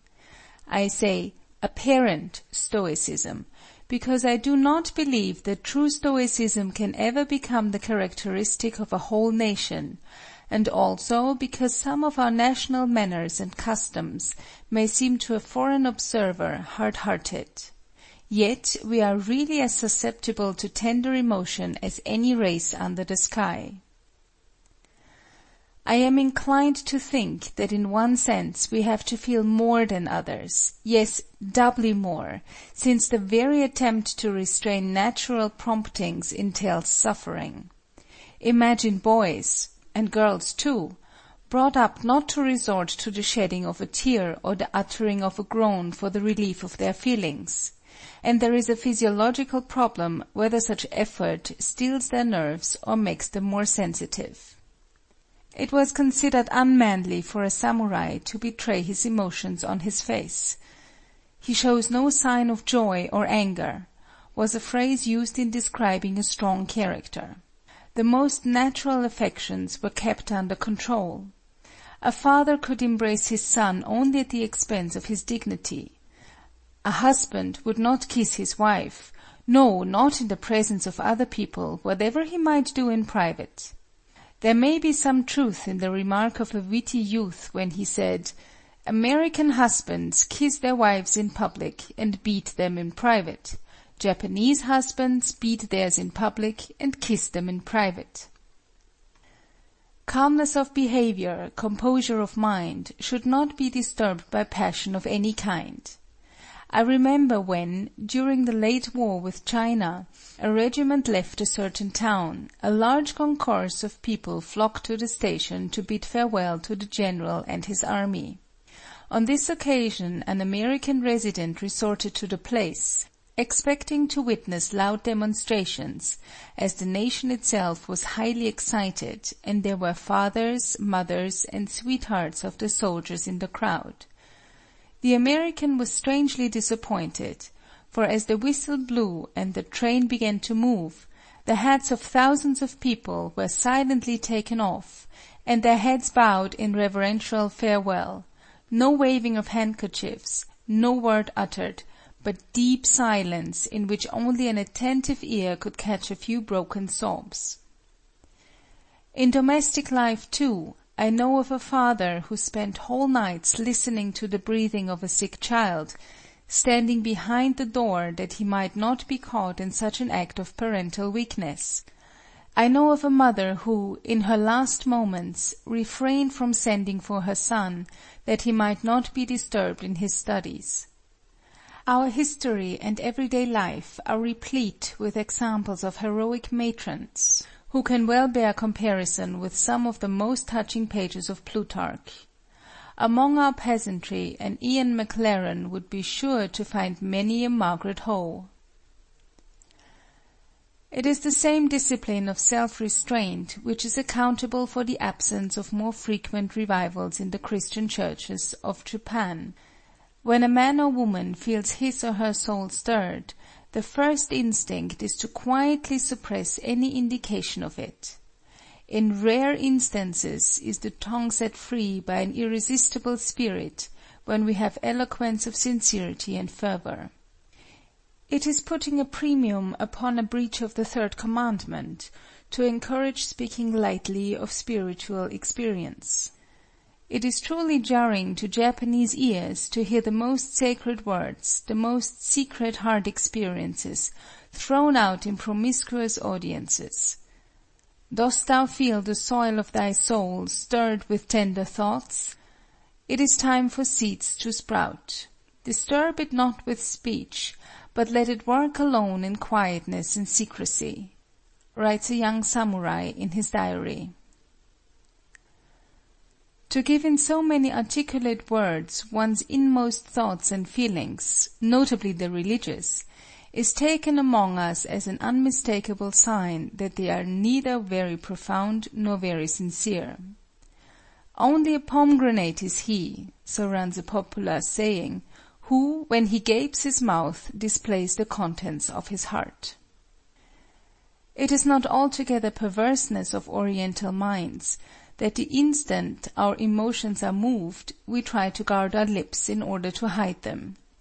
Speech is very often with us, as the Frenchman defined it, "the art of concealing thought."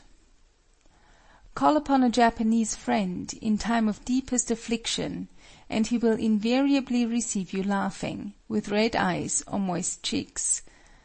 At first you may think him hysterical. Press him for an explanation, and you will get a few broken commonplaces. Human life has sorrow. They who meet must part. He that is born must die. It is foolish to count the years of a child that is gone, but a woman's heart will indulge in follies, and the like. So the noble words of a noble Hohenzollern, "Lerne zu leiden ohne Klagen," had found many responsive minds among us, long before they were uttered.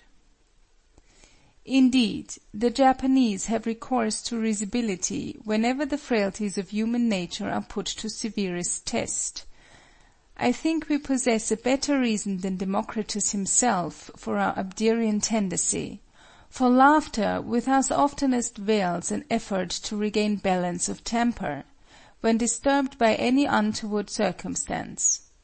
It is a counterpoise of sorrow or rage.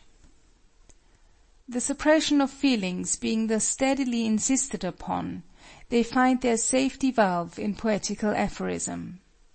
A poet of the tenth century writes, "In Japan and China as well, humanity, when moved by sorrow, tells its bitter grief in verse.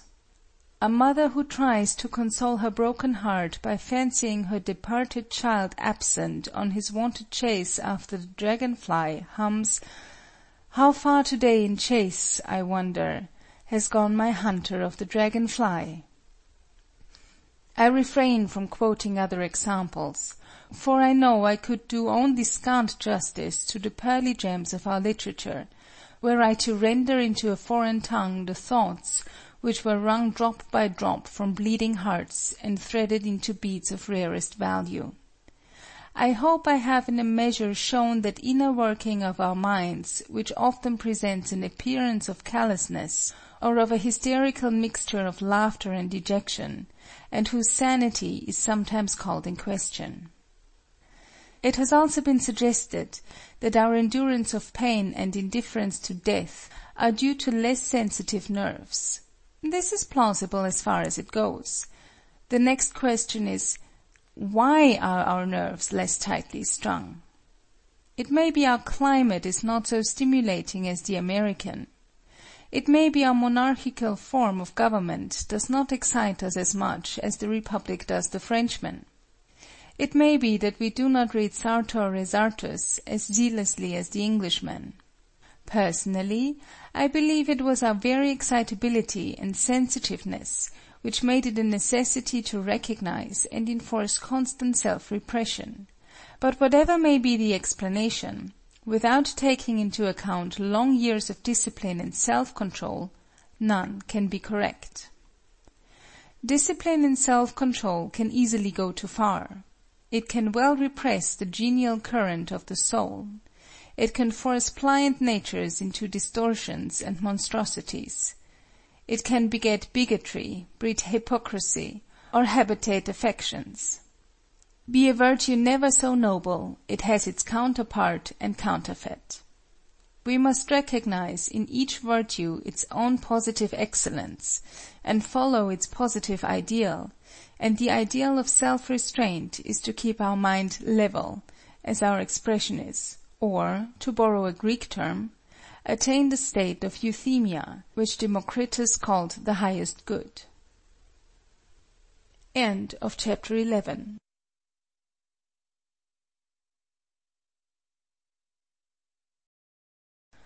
Bushido, The Soul of Japan by Inazo Nitobe. Chapter 12 The Institutions of Suicide and Redress the acme of self-control is reached and best illustrated in the first of the two institutions which we shall now bring to view, namely, the institutions of suicide and redress, of which, The former known as hara kiri, and the latter as kataki uchi, many foreign writers have treated more or less fully.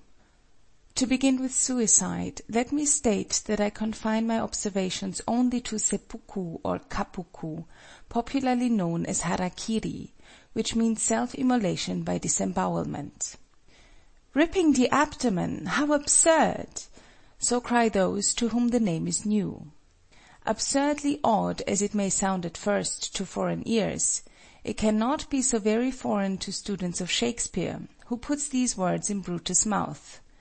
Thy (Cæsar's) spirit walks abroad, and turns our swords into our proper entrails.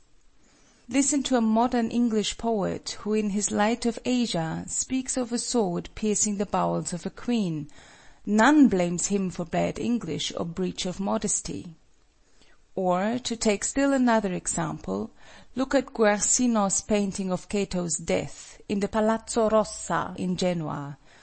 Whoever has read the swan song which Addison makes Cato sing will not jeer at the sword half buried in his abdomen.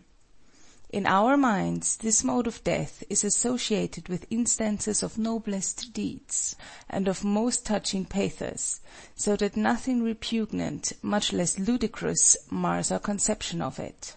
So wonderful is the transforming power of virtue, of greatness, of tenderness, that the vilest form of death assumes a sublimity and becomes a symbol of new life, or else the sign which Constantine beheld would not conquer the world. Not for extraneous associations only does seppuku lose in our mind any taint of absurdity for the choice of this particular part of the body to operate upon was based on an old anatomical belief as to the seat of the soul and of the affections. When Moses wrote of Joseph's bowels yearning upon his brother, or David prayed the Lord not to forget his bowels, or when Isaiah, Jeremiah, and other inspired men of old spoke of the sounding or the troubling of bowels, they all and each endorsed the belief prevalent among the Japanese, that in the abdomen was enshrined the soul. The Semites habitually spoke of the liver and kidneys and surrounding fat as the seat of emotion and of life. The term hara was more comprehensive than the Greek phren or thumos, and the Japanese and Hellenes alike thought the spirit of man to dwell somewhere in that region. Such a notion is by no means confined to the peoples of antiquity. The French, in spite of the theory propounded by one of their most distinguished philosophers, Descartes, that the soul is located in the pineal gland, still insist in using the term ventre in a sense which, if anatomically too vague, is nevertheless physiologically significant. Similarly entrailles stands in their language for affection and compassion. Nor is such belief mere superstition, being more scientific than the general idea of making the heart the centre of the feelings. Without asking a friar, the Japanese knew better than Romeo in what vile part of this anatomy one's name did lodge. Modern neurologists speak of the abdominal and pelvic brains, denoting thereby sympathetic nerve centers in those parts, which are strongly affected by any psychical action. This view of mental physiology once admitted, the syllogism of seppuku is easy to construct. I will open the seat of my soul and show you how it fares with it. See for yourself whether it is polluted or clean. I do not wish to be understood as asserting religious or even moral justification of suicide, but the high estimate placed upon honor was ample excuse with many for taking one's own life. How many acquiesced in the sentiment expressed by Garth, when honor's lost, 'tis a relief to die, death's but a sure retreat from infamy, and have smilingly surrendered their souls to oblivion. Death when honor was involved was accepted in Bushido as a key to the solution of many complex problems, so that to an ambitious samurai a natural departure from life seemed a rather tame affair and a consummation not devoutly to be wished for. I dare say that many good Christians, if only they are honest enough, will confess the fascination of, if not positive admiration for, the sublime composure with which Cato, Brutus, Petronius, and a host of other ancient worthies, terminated their own earthly existence.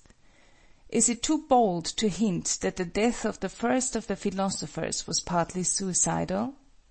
When we are told so minutely by his pupils how their master willingly submitted to the mandate of the State, which he knew was morally mistaken, in spite of the possibilities of escape, and how he took up the cup of hemlock in his own hand, even offering libation from its deadly contents, do we not discern in his whole proceeding and demeanor an act of self immolation? No physical compulsion here, as in ordinary cases of execution. True, the verdict of the judges was compulsory; it said, "Thou shalt die, and that by thy own hand."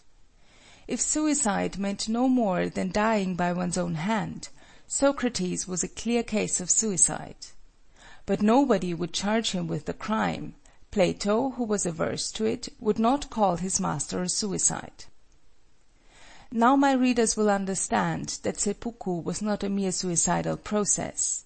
It was an institution, legal and ceremonial. An invention of the Middle Ages, it was a process by which warriors could expiate their crimes, apologize for errors, escape from disgrace, redeem their friends, or prove their sincerity. When enforced as a legal punishment, it was practiced with due ceremony. It was a refinement of self destruction, and none could perform it without the utmost coolness of temper and composure of demeanor, and for these reasons it was particularly befitting the profession of bushi. Antiquarian curiosity, if nothing else, would tempt me to give here a description of these obsolete ceremonial. But seeing that such a description was made by a far abler writer, whose book is not much read nowadays, I am tempted to make a somewhat lengthy quotation. Mitford, in his Tales of Old Japan, after giving a translation of a treatise on seppuku from a rare Japanese manuscript, goes on to describe an instance of such an execution of which he was an eye witness.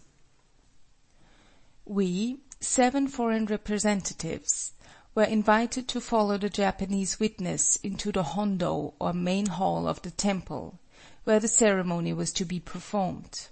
It was an imposing scene a large hall with a high roof supported by dark pillars of wood. From the ceiling hung a profusion of those huge gilt lamps and ornaments peculiar to Buddhist temples. In front of the high altar, where the floor, covered with beautiful white mats, is raised some three or four inches from the ground, was laid a rug of scarlet felt. Tall candles placed at regular intervals gave out a dim mysterious light, just sufficient to let all the proceedings be seen. The seven Japanese took their places on the left of the raised floor, the seven foreigners on the right. No other person was present.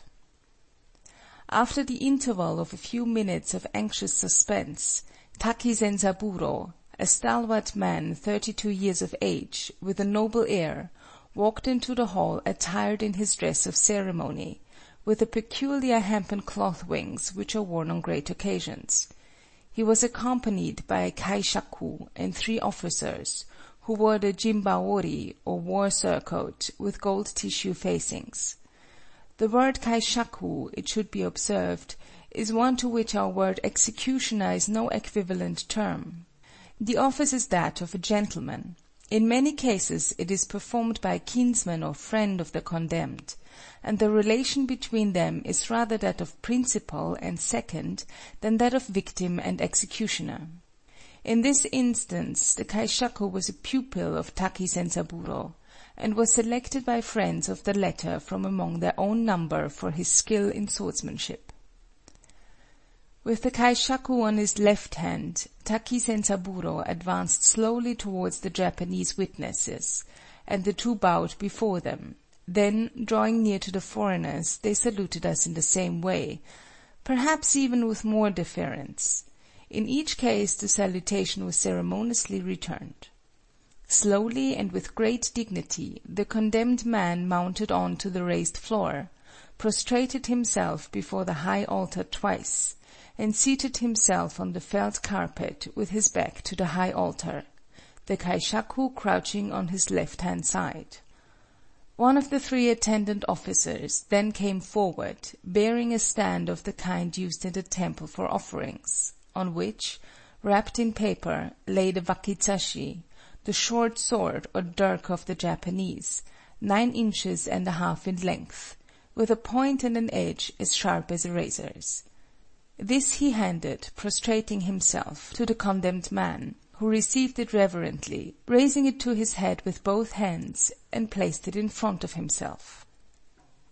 After another profound obeisance, Taki Zenzaburo, in a voice which betrayed just so much emotion and hesitation as might be expected from a man who is making a painful confession, but with no sign of either in his face or manner, spoke as follows: I, and I alone, unwarrantably gave the order to fire on the foreigners at Kobe, and again as they tried to escape. For this crime I disembowel myself, and I beg you who are present to do me the honor of witnessing the act. Bowing once more, the speaker allowed his upper garments to slip down to his girdle, and remained naked to the waist. Carefully, according to custom, he tucked his sleeve under his knees to prevent himself from falling backward, for a noble Japanese gentleman should die falling forwards. Deliberately, with a steady hand he took the dirk that lay before him; he looked at it wistfully, almost affectionately; for a moment he seemed to collect his thoughts for the last time, and then, stabbing himself deeply below the waist, in the left hand side. He drew the dirk slowly across to his right side, and turning it in the wound gave a slight cut upwards. During this sickeningly painful operation he never moved a muscle of his face. When he drew out the dirk he leaned forward and stretched out his neck; an expression of pain for the first time crossed his face, but he uttered no sound. At that moment the kaishaku, who, still crouching by his side, had been keenly watching his every movement, sprang to his feet, poised his sword for a second in the air; there was a flash, a heavy, ugly thud, a crashing fall; with one blow the head had been severed from the body. A dead silence followed, broken only by the hideous noise of the blood throbbing out of the inert head before us which but a moment before had been a brave and chivalrous man. It was horrible. The kaishaku made a low bow, wiped his sword with a piece of paper which he had ready for the purpose, and retired from the raised floor, and the stained dirk was solemnly borne away, a bloody proof of the execution. The two representatives of the Mikado then left their places, and crossing over to where the foreign witnesses sat, called to us to witness that the sentence of death upon Taki Zenzaburo had been faithfully carried out. The ceremony being at an end, we left the temple. I might multiply any number of descriptions of seppuku from literature or from the relation of eye witnesses, but one more instance will suffice. Two brothers, Sakon and Naiki, respectively twenty four and seventeen years of age, made an effort to kill Iyeyasu in order to avenge their father's wrongs, but before they could enter the camp they were made prisoners. The old general admired the pluck of the youths who dared an attempt on his life, and ordered that they should be allowed to die an honorable death. Their little brother Hachimaro, a mere infant of eight summers, was condemned to a similar fate as the sentence was pronounced on all the male members of the family, and the three were taken to a monastery where it was to be executed. A physician who was present on the occasion has left us a diary from which the following scene is translated. When they were all seated in a row for final dispatch, Sakon turned to the youngest and said, Go thou first, for I wish to be sure that thou dost it aright.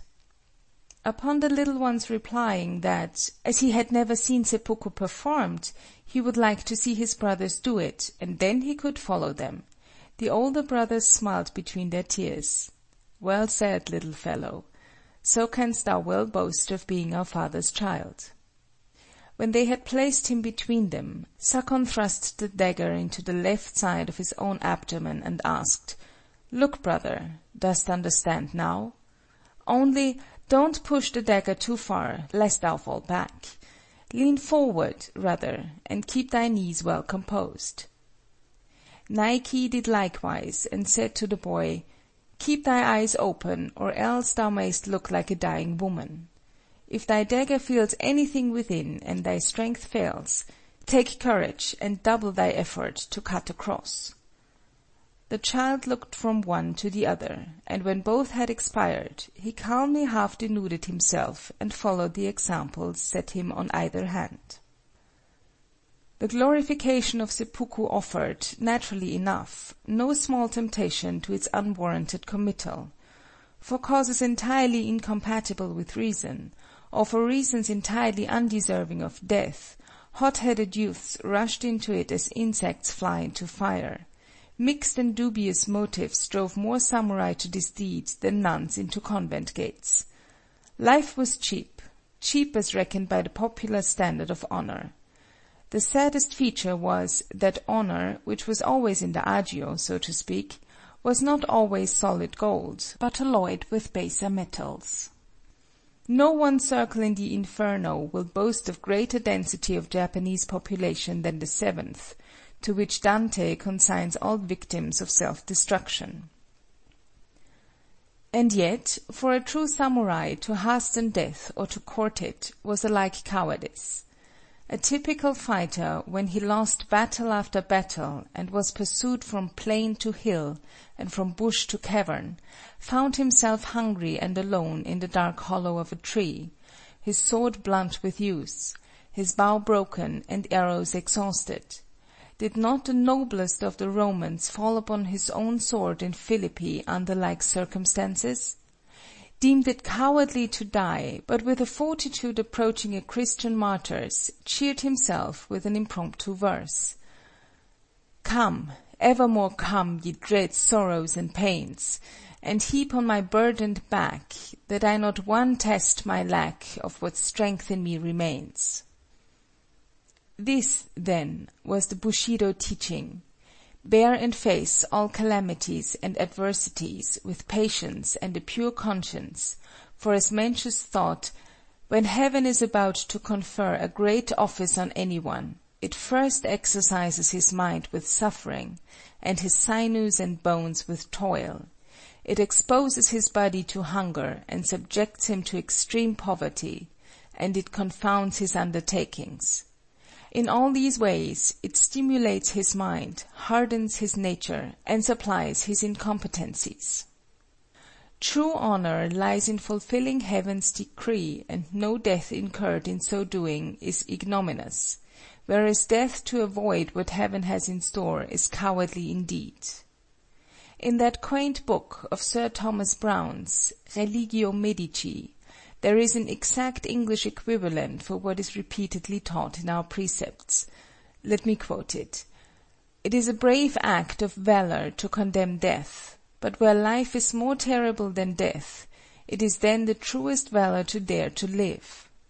A renowned priest of the seventeenth century satirically observed, "Talk as he may, a samurai who ne'er has died is apt in decisive moments to flee or hide. Again, him who once has died in the bottom of his breast, no spears of Sanada, nor all the arrows of Tametomo can pierce. How near we come to the portals of the temple whose builder taught, "He that loseth his life for my sake shall find it."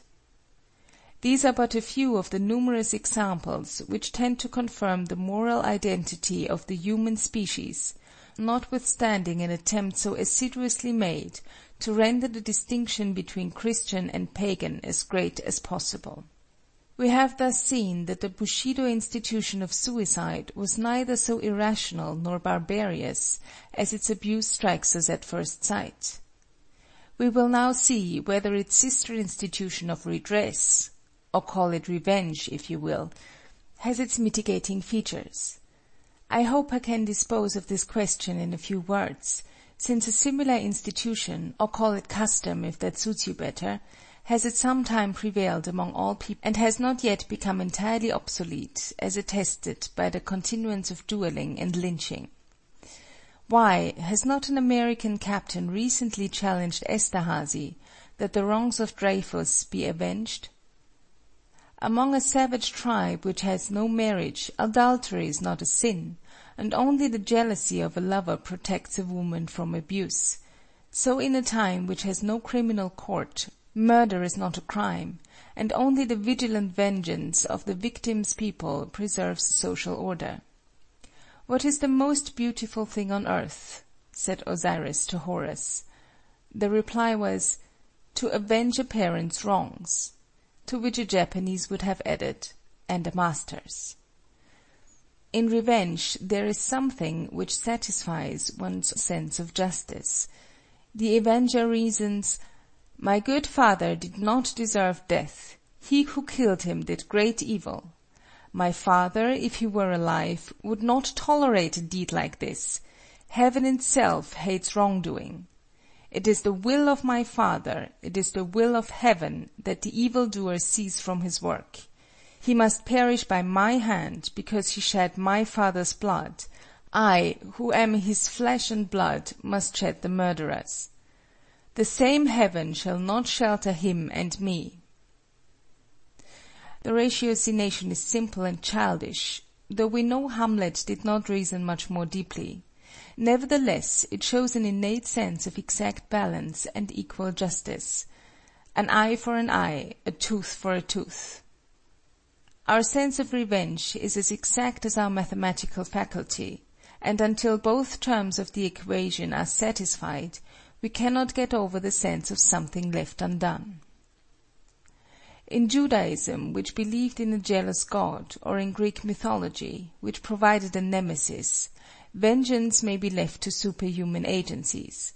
But common sense furnished Bushido with the institution of redress as a kind of ethical court of equity, where people could take cases not to be judged in accordance with ordinary law. The master of the forty seven Rônins was condemned to death. He had no court of higher instance to appeal to. His faithful retainers addressed themselves to vengeance, the only supreme court existing. They in their turn were condemned by common law. But the popular instinct passed a different judgment, and hence their memory is still kept as green and fragrant as are their graves at Sengakuji to this day. Though Lao Tse taught to recompense injury with kindness, the voice of Confucius was very much louder, which counselled that injury must be recompensed with justice; and yet revenge was justified only when it was undertaken in behalf of our superiors and benefactors. One's own wrongs, including injuries done to wife and children, were to be borne and forgiven. A samurai could therefore fully sympathize with Hannibal's oath to avenge his country's wrongs but he scorns James Hamilton for wearing in his girdle a handful of earth from his wife's grave, as an eternal incentive to avenge her wrongs on the Regent Murray. Both of these institutions of suicide and redress lost their raison d'être at the promulgation of the criminal code. No more do we hear of romantic adventures of a fair maiden as she tracks in disguise the murderer of her parent. No more can we witness tragedies of family vendetta enacted. The knight errantry of Miyamoto Musashi is now a tale of the past. The well ordered police spies out the criminal for the injured party, and the law metes out justice. The whole state and society will see that wrong is righted. The sense of justice satisfied, there is no need of kataki uchi. If this had meant that Hunger of the heart, which feeds upon the hope of glutting that hunger with the life blood of the victim, as a New England divine has described it, a few paragraphs in the criminal code would not so entirely have made an end of it. As to seppuku, though it too has no existence de jure, we still hear of it from time to time, and shall continue to hear, I am afraid, as long as the past is remembered. Many painless and time saving methods of self immolation will come in vogue, as its votaries are increasing with fearful rapidity throughout the world; but Professor Morselli will have to concede to seppuku an aristocratic position among them. He maintains that "when suicide is accomplished by very painful means or at the cost of prolonged agony, in ninety nine cases out of a hundred it may be assigned as the act of a mind distorted by fanaticism, by madness, or by morbid excitement."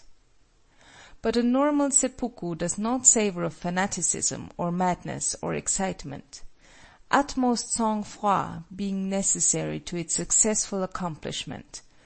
Of the two kinds into which Dr. Strahan divides suicide, the rational or quasi, and the irrational or true, seppuku is the best example of the former type. End of chapter 12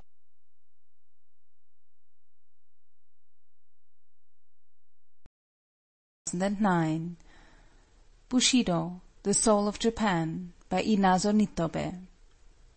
CHAPTER XIII THE SWORD The Soul of the Samurai. From these bloody institutions, as well as from the general tenor of Bushido, it is easy to infer that the sword played an important part in social discipline and life. The saying passed as an axiom, which called the sword the soul of the samurai, and made it the emblem of power and prowess. When Mahomet proclaimed that "the sword is the key of heaven and of hell," he only echoed a Japanese sentiment. Very early the samurai boy learned to wield it. It was a momentous occasion for him when at the age of five he was apparelled in the paraphernalia of samurai costume, placed upon a go board, and initiated into the rites of the military profession by having thrust into his girdle a real sword, instead of the toy dirk with which he had been playing. After this first ceremony of adoptio per arma, he was no more to be seen outside his father's gates without this badge of his status, even if it was usually substituted for everyday wear by a gilded wooden dirk. Not many years pass before he wears constantly the genuine steel, though blunt, and then the sham arms are thrown aside, and with enjoyment keener than his newly acquired blades, he marches out to try their edge on wood and stone. When he reaches man's estate at the age of fifteen, being given independence of action, he can now pride himself upon the possession of arms sharp enough for any work. The very possession of the dangerous instrument imparts to him a feeling and an air of self respect and responsibility. He beareth not his sword in vain. What he carries in his belt is a symbol of what he carries in his mind and heart loyalty and honor. The two swords, the longer and the shorter, called respectively daito and shoto, or katana and wakizashi, never leave his side. When at home, they grace the most conspicuous place in study or parlor; by night, they guard his pillow within easy reach of his hand. Constant companions, they are beloved, and proper names of endearment given them. Being venerated, they are well nigh worshipped. The father of history has recorded as a curious piece of information that the Scythians sacrificed to an iron scimitar. Many a temple and many a family in Japan hoards a sword as an object of adoration. Even the commonest dirk has due respect paid to it. Any insult to it is tantamount to personal affront. Woe to him who carelessly steps over a weapon lying on the floor! So precious an object cannot long escape the notice and the skill of artists, nor the vanity of its owner, especially in times of peace, when it is worn with no more use than a crozier by a bishop or a sceptre by a king.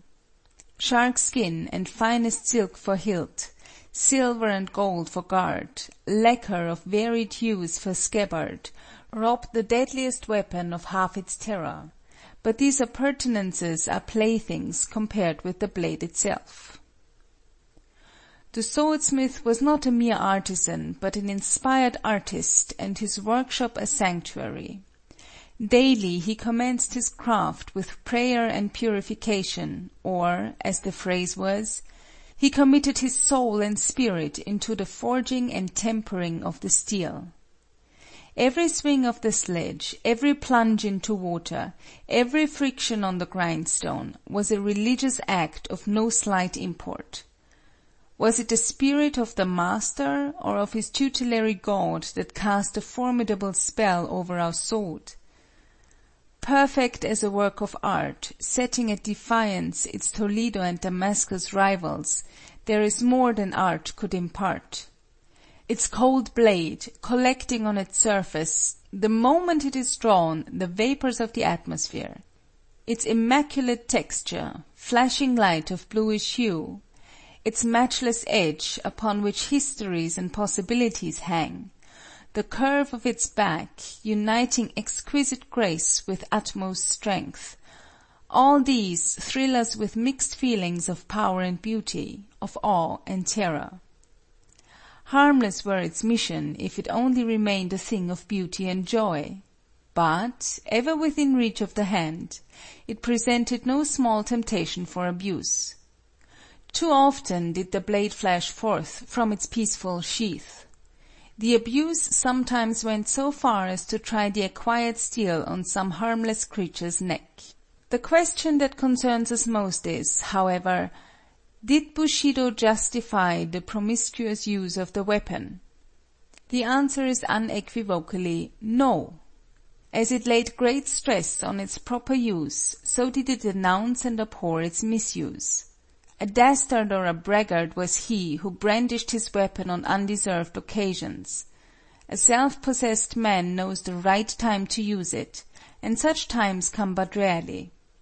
Let us listen to the great Count Katsu, who passed through one of the most turbulent times of our history, when assassinations, suicides, and other sanguinary practices were the order of the day. Endowed as he once was with almost dictatorial powers, repeatedly marked out as an object for assassination, he never tarnished his sword with blood. In relating some of his reminiscences to a friend, he says, in a quaint plebeian way peculiar to him, I have a great dislike for killing people, and so I haven't killed one single man. I have released those whose heads should have been chopped off. A friend said to me one day, "You don't kill enough. Don't you eat pepper and egg plants?" Well, some people are no better. But you see that fellow was slain himself. My escape may be due to my dislike of killing. I had the hilt of my sword so tightly fastened to the scabbard that it was hard to draw the blade. I made up my mind that though they cut me, I will not cut. Yes, yes, some people are truly like fleas and mosquitoes, and they bite, but what does their biting amount to? It itches a little, that's all. It won't endanger life. These are the words of one whose Bushido training was tried in the fiery furnace of adversity and triumph.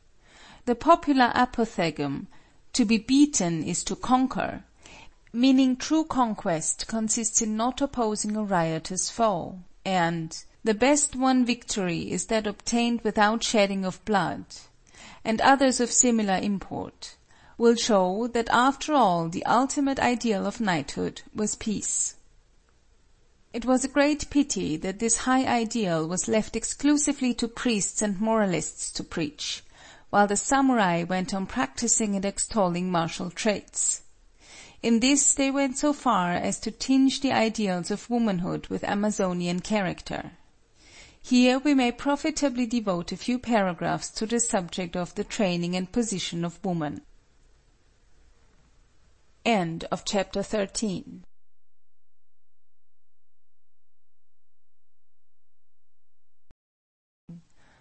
Bushido, The Soul of Japan by Inazo Nitobe Chapter 14 the Training and Position of Woman. The female half of our species has sometimes been called the paragon of paradoxes, because the intuitive working of its mind is beyond the comprehension of men's arithmetical understanding. The Chinese ideogram denoting the mysterious, the unknowable, consists of two parts, one meaning young and the other woman, because the physical charms and delicate thoughts of the fair sex are above the coarse mental calibre of our sex to explain. In the Bushido ideal of woman, however, there is little mystery and only a seeming paradox.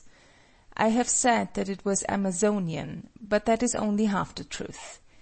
Ideographically the Chinese represent wife by a woman holding a broom, certainly not to brandish it offensively or defensively against her conjugal ally, neither for witchcraft, but for the more harmless uses of which the besom was first invented, the idea involved being thus not less homely than the etymological derivation of the English wife (weaver) and daughter (duhitar, milkmaid). Without confining the sphere of women's activity to Küche, Kirche, Kinder, as the present German Kaiser is said to do, the Bushido ideal of womanhood was pre eminently domestic. These seeming contradictions, domesticity and Amazonian traits, are not inconsistent with the precepts of knighthood, as we shall see.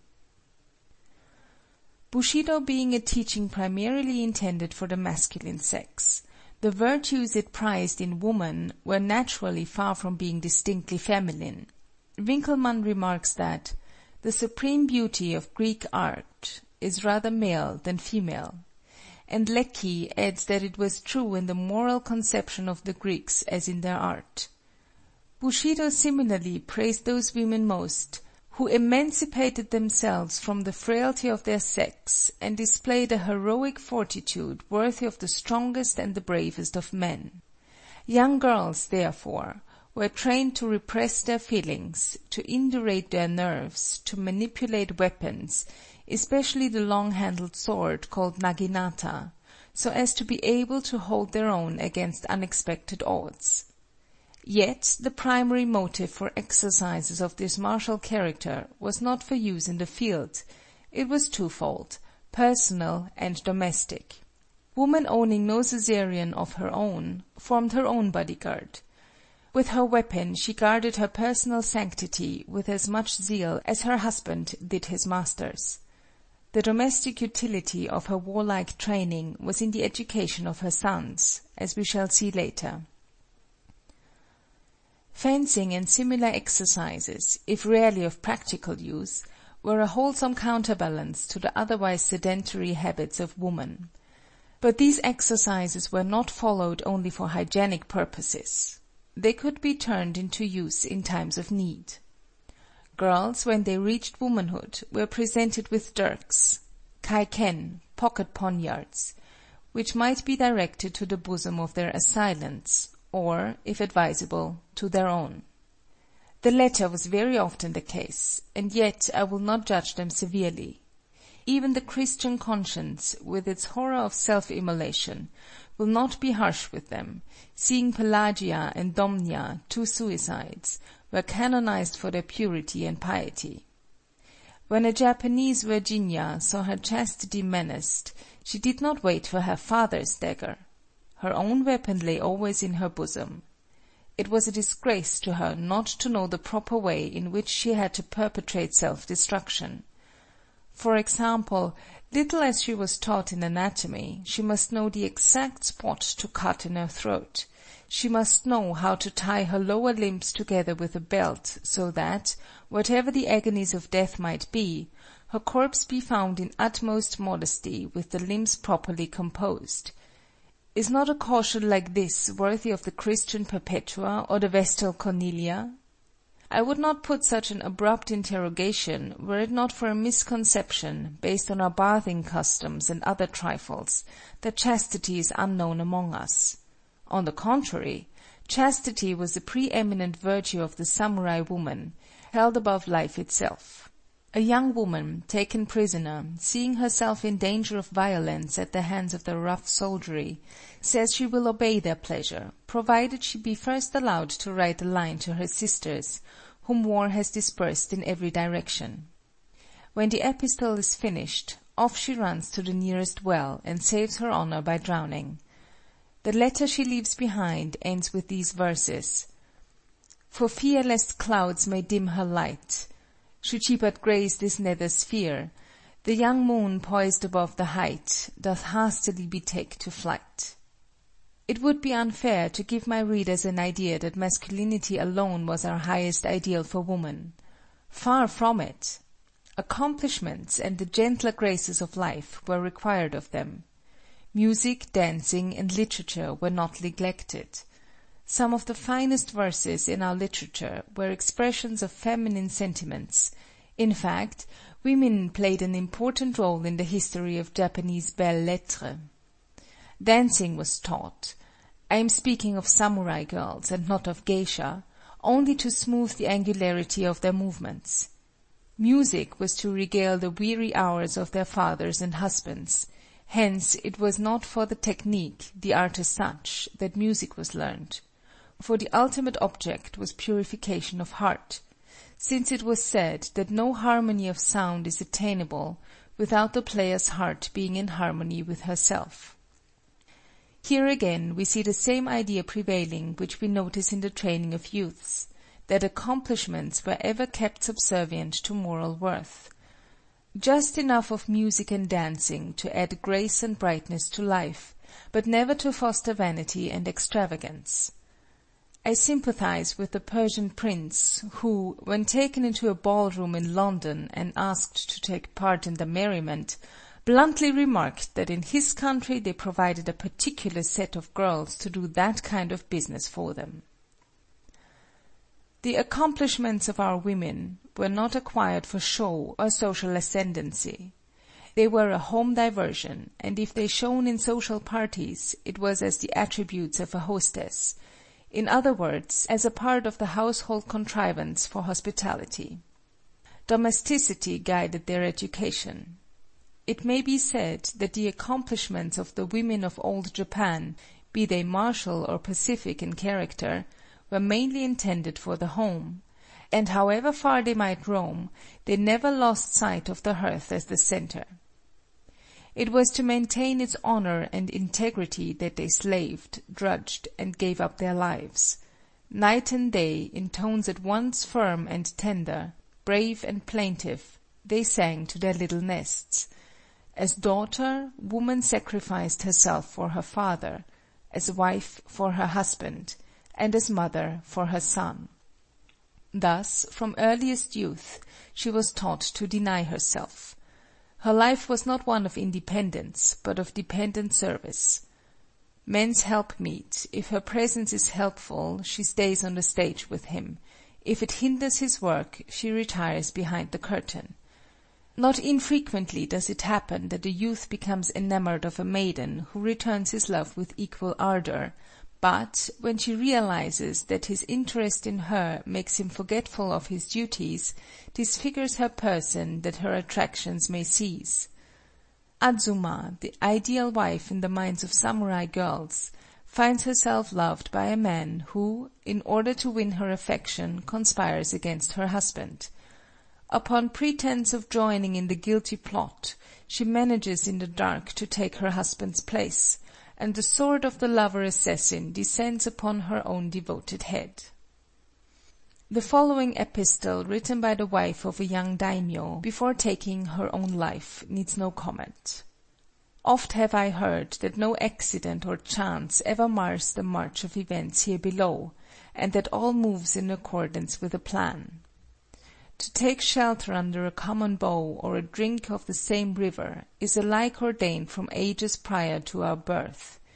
Since we were joined in ties of eternal wedlock, now two short years ago, my heart hath followed thee, even as its shadow followeth an object, inseparably bound heart to heart, loving and being loved. Learning but recently, however, that the coming battle is to be the last of thy labor and life, take the farewell greeting of thy loving partner. I have heard that Kō u, the mighty warrior of ancient China, lost a battle, loth to part with his favorite Gu. Yoshinaka, too, brave as he was, brought disaster to his cause, too weak to bid prompt farewell to his wife. Why should I, to whom earth no longer offers hope or joy, why should I detain thee or thy thoughts by living? Why should I not, rather, await thee on the road which all mortal kind must sometime tread? Never, prithee, never forget the many benefits which our good master Hideyori hath heaped upon thee. The gratitude we owe him is as deep as the sea and as high as the hills. Woman's surrender of herself to the good of her husband, home, and family was as willing and honorable as the man's self-surrender to the good of his lord and country. Self-renunciation, without which no life enigma can be solved, was the keynote of the loyalty of man as well as of the domesticity of woman. She was no more the slave of man than was her husband of his liege lord, and the part she played was recognized as Naijo, the inner help. In the ascending scale of service stood woman, who annihilated herself for man, that he might annihilate himself for the master, that he in turn might obey heaven. I know the weakness of this teaching, and that the superiority of Christianity is nowhere more manifest than here, in that it requires of each and every living soul direct responsibility to its Creator. Nevertheless, as far as the doctrine of service, the serving of a cause higher than one's own self, even at the sacrifice of one's individuality, I say the doctrine of service, which is the greatest that Christ preached, and is the sacred keynote of his mission, as far as that is concerned, Bushido is based on eternal truth. My readers will not accuse me of undue prejudice in favor of slavish surrender of volition. I accept in a large measure the view advanced with breadth of learning and defended with profundity of thought by Hegel, that history is the unfolding and realization of freedom. The point I wish to make is that the whole teaching of Bushido was so thoroughly imbued with the spirit of self-sacrifice that it was required not only of woman but of man. Hence, until the influence of its precepts is entirely done away with, our society will not realize the view rashly expressed by an American exponent of women's rights, who exclaimed, "May all the daughters of Japan rise in revolt against ancient customs!" Can such a revolt succeed? Will it improve the female status? Will the rights they gain by such a summary process repay the loss of that sweetness of disposition, that gentleness of manner, which are their present heritage? Was not the loss of domesticity on the part of Roman matrons followed by moral corruption too gross to mention? Can the American reformer assure us that a revolt of our daughters is the true course for their historical development to take? These are grave questions. Changes must and will come without revolts. In the meantime, let us see whether the status of the fair sex under the Bushido regimen was really so bad as to justify a revolt. We hear much of the outward respect European knights paid to God and the ladies, the incongruity of the two terms making Gibbon blush. We are also told by Hallam that the morality of chivalry was coarse, that gallantry implied illicit love. The effect of chivalry on the weaker vessel was food for reflection on the part of philosophers, M. Guizot contending that feudalism and chivalry wrought wholesome influences, while Mr. Spencer tells us that in a militant society (and what is feudal society if not militant?) the position of woman is necessarily low, improving only as society becomes more industrial. Now, is M. Guizot's theory true of Japan, or is Mr. Spencer's? In reply I might aver that both are right. The military class in Japan was restricted to the samurai, comprising nearly two million souls. Above them were the military nobles, the daimyo, and the court nobles, the kuge, these higher, sybaritical nobles being fighters only in name. Below them were masses of the common people, mechanics, tradesmen, and peasants, whose life was devoted to arts of peace. Thus what Herbert Spencer gives as the characteristics of a militant type of society may be said to have been exclusively confined to the samurai class, while those of the industrial type were applicable to the classes above and below it. This is well illustrated by the position of woman, for in no class did she experience less freedom than among the samurai. Strange to say, the lower the social class, as for instance among small artisans, the more equal was the position of husband and wife. Among the higher nobility, too, the difference in the relations of the sexes was less marked, chiefly because there were few occasions to bring the differences of sex into prominence, the leisurely noblemen having become literally effeminate. Thus Spencer's dictum was fully exemplified in old Japan. As to Guizot's, those who read his presentation of a feudal community will remember that he had the higher nobility especially under consideration, so that his generalization applies to the daimyo and the kuge. I shall be guilty of gross injustice to historical truth if my words give one a very low opinion of the status of woman under Bushido.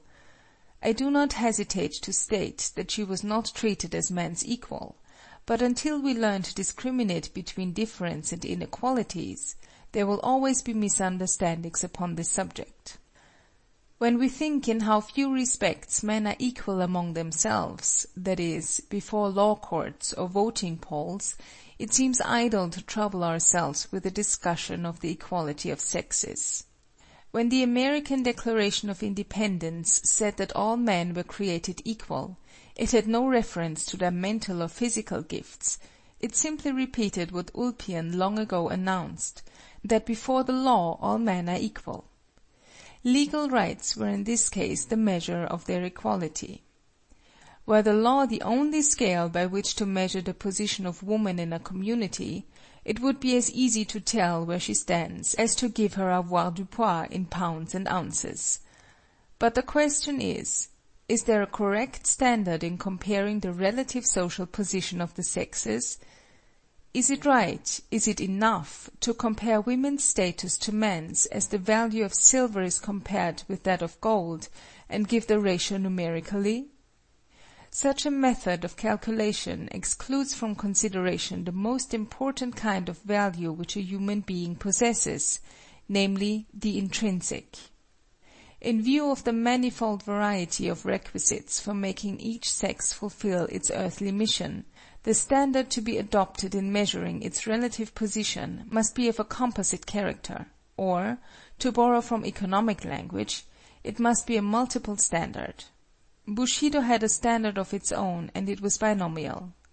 It tried to gauge the value of woman on the battlefield and by the hearth. There she counted for very little, here for all. The treatment accorded her corresponded to this double measurement; as a social political unit not much, while as wife and mother she received highest respect and deepest affection. Why among so military a nation as the Romans were their matrons so highly venerated? Was it not because they were matrona, mothers? Not as fighters or lawgivers, but as their mothers did men bow before them. So with us. While fathers and husbands were absent in field or camp, the government of the household was left entirely in the hands of mothers and wives. The education of the young, even their defense, was entrusted to them. The warlike exercises of women of which I have spoken were primarily to enable them intelligently to direct and follow the education of their children. I have noticed a rather superficial notion prevailing among half informed foreigners that because the common Japanese expression for one's wife is "my rustic wife" and the like, she is despised and held in little esteem. When it is told that such phrases as "my foolish father," "my swinish son," "my awkward self," etc., are in current use, is not the answer clear enough? To me it seems that our idea of marital union goes in some ways further than the so called Christian. Man and woman shall be one flesh. The individualism of the Anglo Saxon cannot let go of the idea that husband and wife are two persons; hence when they disagree, their separate rights are recognized, and when they agree, they exhaust their vocabulary in all sorts of silly pet names and nonsensical blandishments. It sounds highly irrational to our ears, when a husband or wife speaks to a third party of his other half, better or worse, as being lovely, bright, kind, and what not. Is it good taste to speak of one's self as my bright self, my lovely disposition, and so forth? We think praising one's own wife or one's own husband is praising a part of one's own self, and self-praise is regarded, to say the least, as bad taste among us, and I hope among Christian nations too. I have diverged at some length because the polite debasement of one's consort was a usage most in vogue among the samurai. The Teutonic races beginning their tribal life with a superstitious awe of the fair sex (though this is really wearing off in Germany), and the Americans beginning their social life under the painful consciousness of the numerical insufficiency of women, who, now increasing, are, I am afraid, fast losing the prestige their colonial mothers enjoyed. The respect man pays to woman has in Western civilization become the chief standard of morality. But in the martial ethics of Bushido, the main watershed, dividing the good and the bad, was sought elsewhere. It was located along the line of duty, which bound man to his own divine soul and then to other souls, in the five relations I have mentioned in the early part of this paper. Of these we have brought to our readers' notice loyalty, the relation between one man as vassal and another as lord. Upon the rest I have only dwelt incidentally, as occasion presented itself, because they were not peculiar to Bushido. Being founded on natural affections, they could but be common to all mankind, though in some particulars they may have been accentuated by conditions which its teachings induced. In this connection there comes before me the peculiar strength and tenderness of friendship between man and man, which often added to the bond of brotherhood a romantic attachment doubtless intensified by the separation of the sexes in youth a separation which denied to affection the natural channel open to it in Western chivalry or in the free intercourse of Anglo Saxon lands. I might fill pages with Japanese versions of the story of Damon and Pythias, or Achilles and Patroclus, or tell in Bushido parlance of ties as sympathetic as those which bound David and Jonathan. End of chapter 14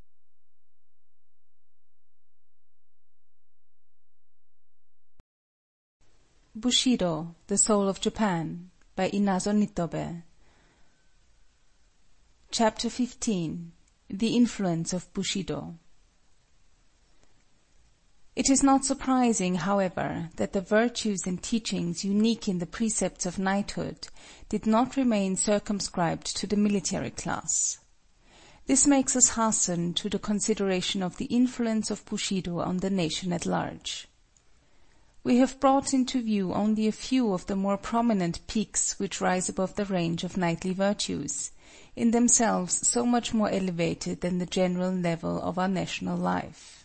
As the sun in its rising first tips the highest peaks with russet hue, and then gradually casts its rays on the valley below, so the ethical system which first enlightened the military order drew in course of time followers from amongst the masses.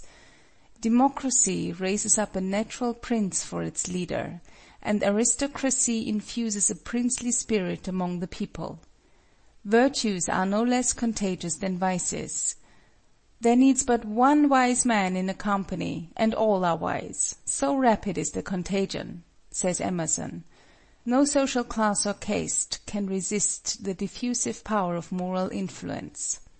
Prate as we may of the triumphant march of Anglo Saxon liberty, rarely has it received impetus from the masses. Was it not rather the work of the squires and gentlemen? Very truly does M. Taine say, These three syllables, as used across the Channel, summarize the history of English society. Democracy may make self confident retorts to such a statement, and fling back the question, "When Adam delved and Eve span, where then was the gentleman?" All the more pity that the gentleman was not present in Eden. And the first parents missed him sorely, and paid a high price for his absence. Had he been there, not only would the garden have been more tastefully dressed, but they would have learned without painful experience that disobedience to Jehovah was disloyalty and dishonor, treason and rebellion. What Japan was, she owed to the samurai. They were not only the flower of the nation, but its root as well. All the gracious gifts of heaven flowed through them. Though they kept themselves socially aloof from the populace, they set a moral standard for them, and guided them by their example. I admit Bushido has its esoteric and exoteric teachings. These were eudaimonistic, looking after the welfare and happiness of the commonalty, while those were aretaic, emphasizing the practice of virtues for their own sake. In the most chivalrous days of Europe, knights formed numerically but a small fraction of the population, but, as Emerson says, in English literature half the drama and all the novels, from Sir Philip Sidney to Sir Walter Scott, paint this figure, gentleman. Write in place of Sidney and Scott, Chikamatsu and Bakin, and you have in a nutshell the main features of the literary history of Japan. The innumerable avenues of popular amusement and instruction, the theatres, the storytellers' booths, the preachers' days, the musical recitations, the novels, have taken for their chief theme the stories of the samurai. The peasants round the open fire in their huts never tire of repeating the achievements of Yoshitsune and his faithful retainer Benkei, or of the two brave Soga brothers. The dusky urchins listen with gaping mouths until the last stick burns out and the fire dies in its embers, still leaving their hearts aglow with the tale that is told. The clerks and the shop boys, after their day's work is over and the amado (outside shutters) of the store are closed, gather together to relate the story of Nobunaga and Hideyoshi far into the night, until slumber overtakes their weary eyes and transports them from the drudgery of the counter to the exploits of the field. The very babe just beginning to toddle is taught to lisp the adventures of Momotaro, the daring conqueror of Ogre Land. Even girls are so imbued with the love of knightly deeds and virtues that, like Desdemona, they would seriously incline to devour with greedy ear the romance of the samurai. The samurai grew to be the beau ideal of the whole race. As among flowers the cherry is queen, so among men the samurai is lord. So sang the populace. Debarred from commercial pursuits, the military class itself did not aid commerce, but there was no channel of human activity, no avenue of thought, which did not receive in some measure an impetus from Bushido. Intellectual and moral Japan was directly or indirectly the work of knighthood.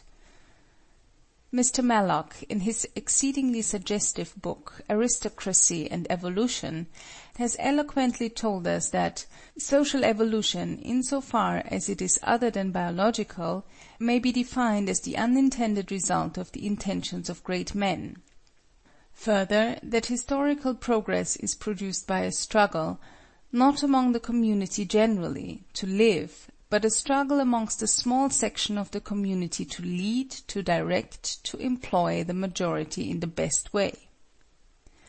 Whatever may be said about the soundness of this argument, these statements are amply verified in the part played by Bushi in the social progress, as far as it went, of our empire. How the spirit of Bushido permeated all social classes is also shown in the development of a certain order of men known as Otokodatte, the natural leaders of democracy. Staunch fellows were they, every inch of them strong with the strength of massive manhood. At once the spokesmen and the guardians of popular rights, they had a following of hundreds and thousands of souls, who proffered in the same fashion that samurai did to daimio, the willing service of "limb and life," of body, chattels and earthly honor. Backed by a vast multitude of rash and impetuous working men, those born "bosses" formed a formidable check to the rampancy of the Two Sworded Order. In manifold ways has Bushido filtered down from the social class where it originated, and acted as leaven among the masses, furnishing a moral standard for the whole people. The precepts of knighthood, begun at first as the glory of the élite, became in time an aspiration and inspiration to the nation at large. And though the populace could not attain the moral height of those loftier souls, Yet Yamato Damashii, the soul of Japan, ultimately came to express the Volksgeist of the island realm. If religion is no more than morality touched by emotion, as Matthew Arnold defines it, few ethical systems are better entitled to the rank of religion than Bushido. Motoori has put the mute utterance of the nation into words when he sings Isles of blest Japan, Should your Yamato spirit Stranger seek to scan, Say, scanting morn's sunlit air Blows the cherry wild and fair. Yes, the sakura has for ages been the favorite of our people and the emblem of our character. Mark particularly the terms of definition which the poet uses, the words "the wild cherry flowers scenting the morning sun." The Yamato spirit is not a tame, tender plant, but a wild, in the sense of natural, growth. It is indigenous to the soil, its accidental qualities it may share with the flowers of other lands, but in its essence it remains the original, spontaneous outgrowth of our clime. But its nativity is not its sole claim to our affection. The refinement and grace of its beauty appeal to our aesthetic sense as no other flower can. We cannot share the admiration of the Europeans for their roses, which lack the simplicity of our flower.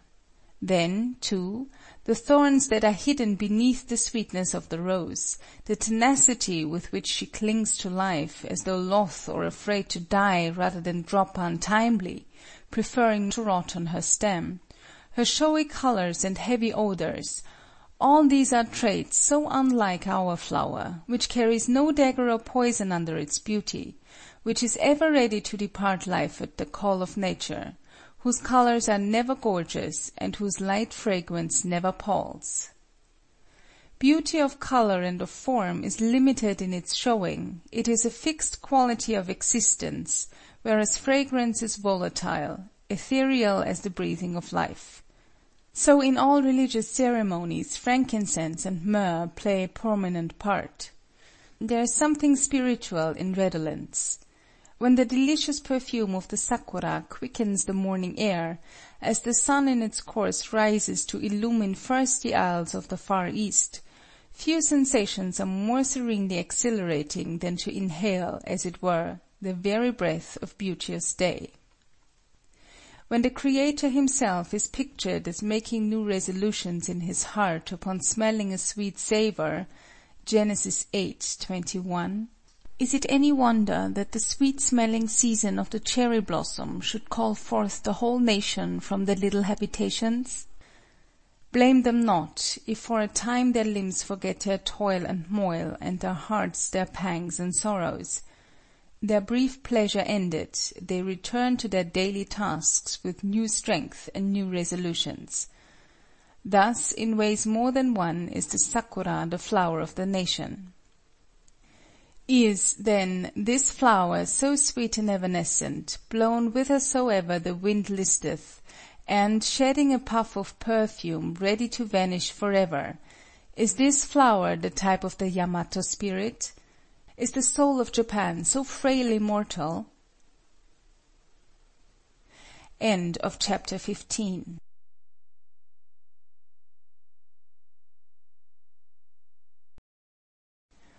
Bushido, The Soul of Japan by Inazo Nitobe Chapter 16 Is Bushido Still Alive? Is Bushido still alive, or has Western civilization, in its march through the land, already wiped out every trace of its ancient discipline? It were a sad thing if a nation's soul could die so fast. That were a poor soul that could succumb so easily to extraneous influences.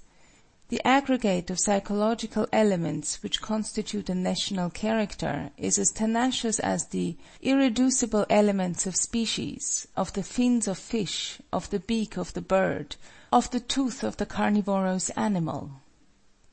In his recent book, The Psychology of Peoples, full of shallow asseverations and brilliant generalizations, M. Le Bon says the discoveries due to the intelligence are the common patrimony of humanity; qualities or defects of character constitute the exclusive patrimony of each people; they are the firm rock which the waters must wash day by day for centuries before they can wear away even its external asperities. These are strong words and would be highly worth pondering over provided there were qualities and defects of character which constitute the exclusive patrimony of each people. Schematizing theories of this sort had been advanced long before Le Bon began to write his book, and they were exploded long ago by Theodore Waitz and Hugh Murray. In studying the various virtues instilled by Bushido, we have drawn upon European sources for comparison and illustrations, and we have seen that no one quality of character was its exclusive patrimony. It is true, the aggregate of moral qualities presents a quite unique aspect. It is this aggregate which Emerson names a "compound result into which every great force enters as an ingredient." But, instead of making it, as Le Bon does, an exclusive patrimony of a race or people, the Concord philosopher calls it "an element which unites the most forcible persons of every country, makes them intelligible and agreeable to each other, and is somewhat so precise that it is at once felt if an individual lack the Masonic sign." The character which Bushido stamped on our nation and on the samurai in particular, cannot be said to form an irreducible element of species but nevertheless as to the vitality which it retains there is no doubt. Were Bushido a mere physical force, the momentum it has gained in the last seven hundred years could not stop so abruptly. Were it transmitted only by heredity, its influence must be immensely widespread. Just think, as M. Cheysson, a French economist, has calculated, that supposing there be three generations in a century, each of us would have in his veins the blood of at least twenty millions of the people living in the year 1000 Anno Domini. The merest peasant that grubs the soil, bowed by the weight of centuries, has in his veins the blood of ages, and is thus a brother to us as much as to the ox. An unconscious, an irresistible power, Bushido has been moving the nation and individuals.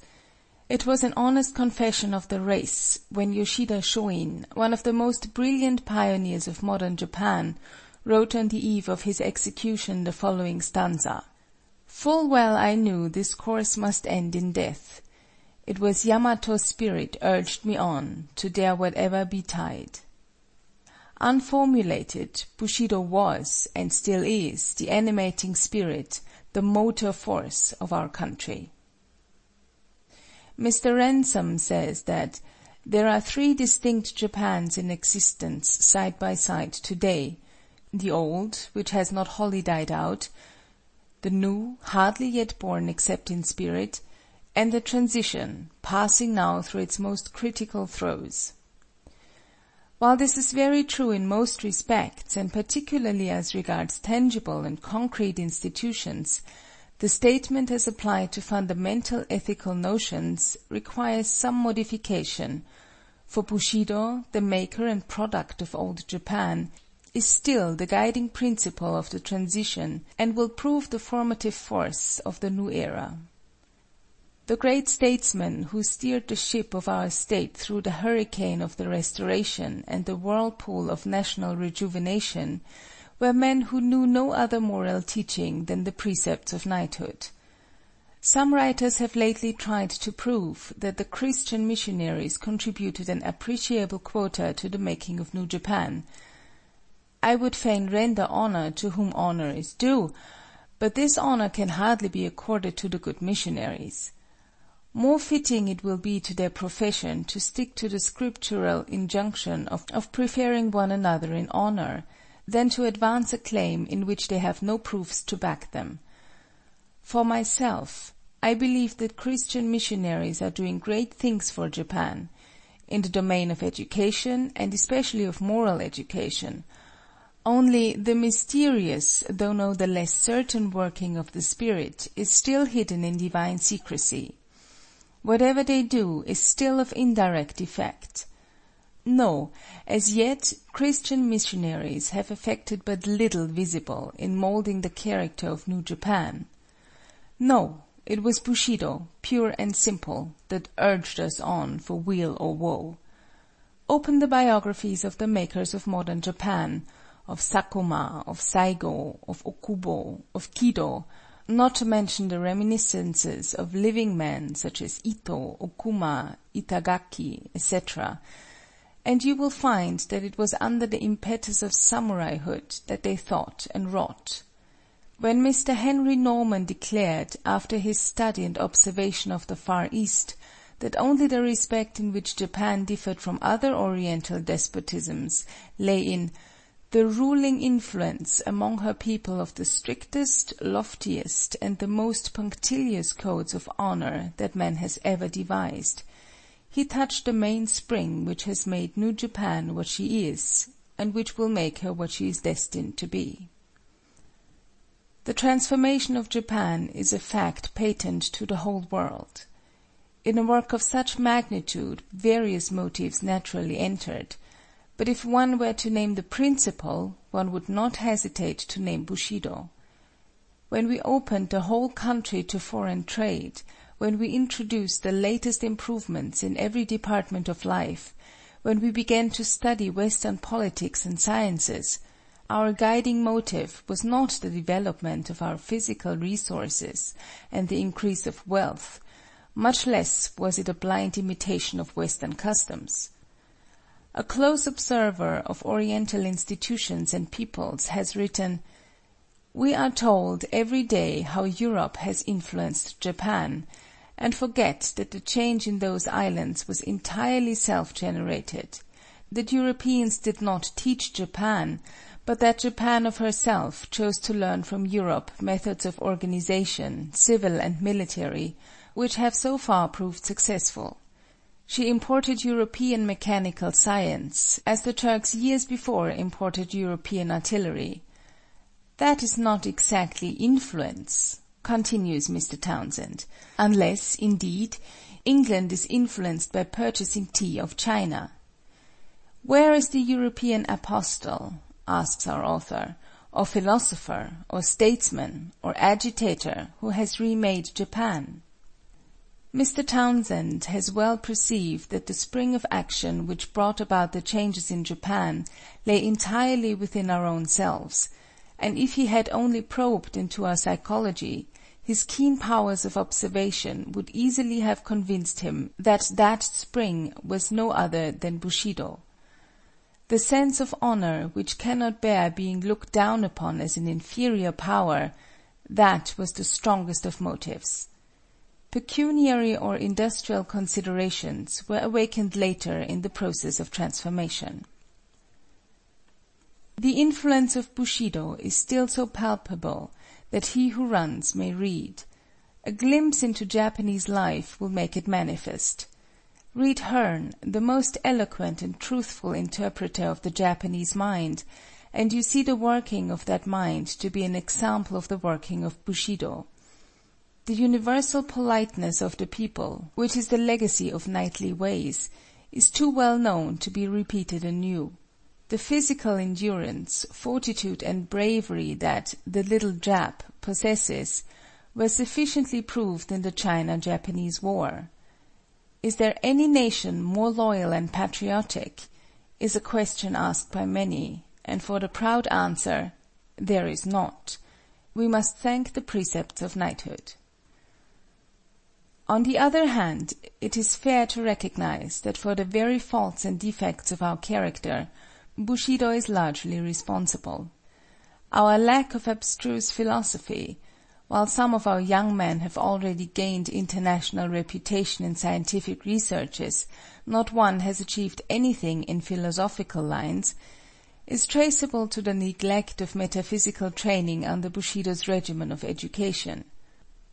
Our sense of honor is responsible for our exaggerated sensitiveness and touchiness, and if there is the conceit in us with which some foreigners charge us, that, too, is a pathological outcome of honor. Have you seen in your tour of Japan many a young man with unkempt hair, dressed in shabbiest garb, carrying in his hand a large cane or a book, stalking about the streets with an air of utter indifference to mundane things? He is the Shosei (student), to whom the earth is too small and the heavens are not high enough. He has his own theories of the universe and of life. He dwells in castles of air and feeds on ethereal words of wisdom. In his eyes beams the fire of ambition, his mind is athirst for knowledge. Penury is only a stimulus to drive him onward. Worldly goods are in his sight shackles to his character. He is the repository of loyalty and patriotism. He is the self imposed guardian of national honor. With all his virtues and his faults, he is the last fragment of Bushido.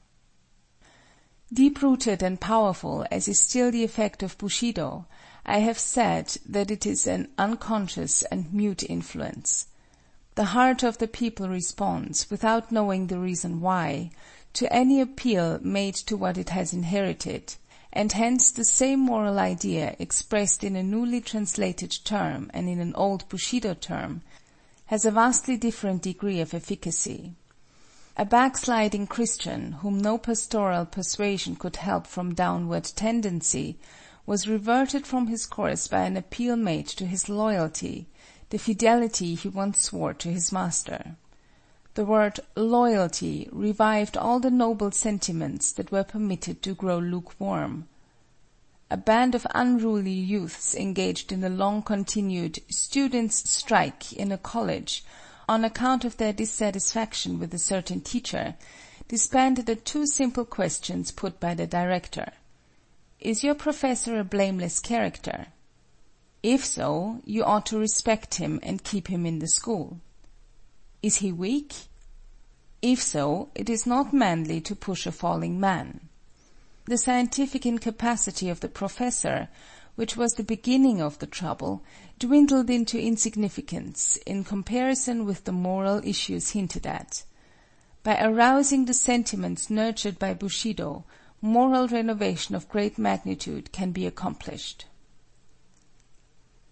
One cause of the failure of mission work is that most of the missionaries are, grossly ignorant of our history. What do we care for heathen records? some say, and consequently estrange their religion from the habits of thought we and our forefathers have been accustomed to for centuries past. Mocking a nation's history, as though the career of any people, even the lowest African savages possessing no record, were not a page in the general history of mankind, written by the hand of God himself. The very lost races are a palimpsest to be deciphered by a seeing eye.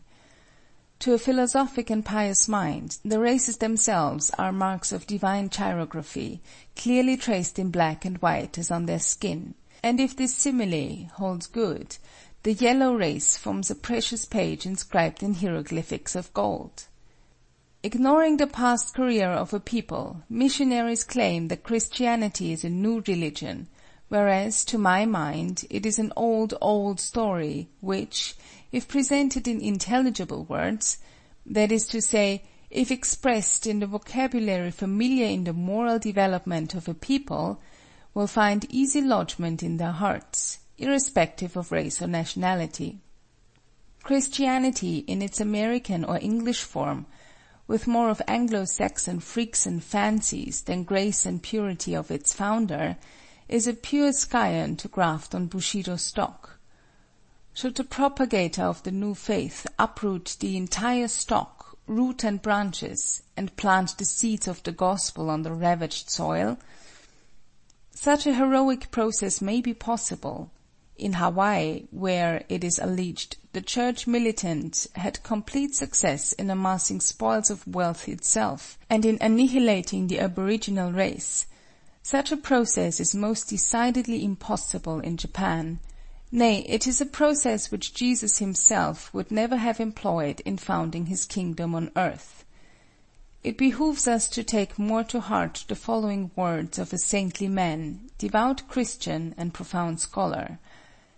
Men have divided the world into heathen and Christian, without considering how much good may have been hidden in the one, or how much evil may have been mingled with the other. They have compared the best part of themselves with the worst of their neighbors, the ideal of Christianity with the corruption of Greece or the East.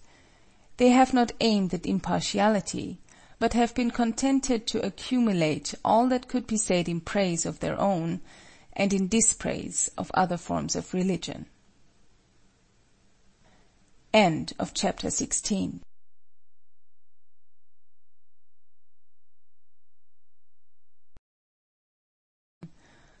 Bushido, The Soul of Japan, by Inazo Nitobe.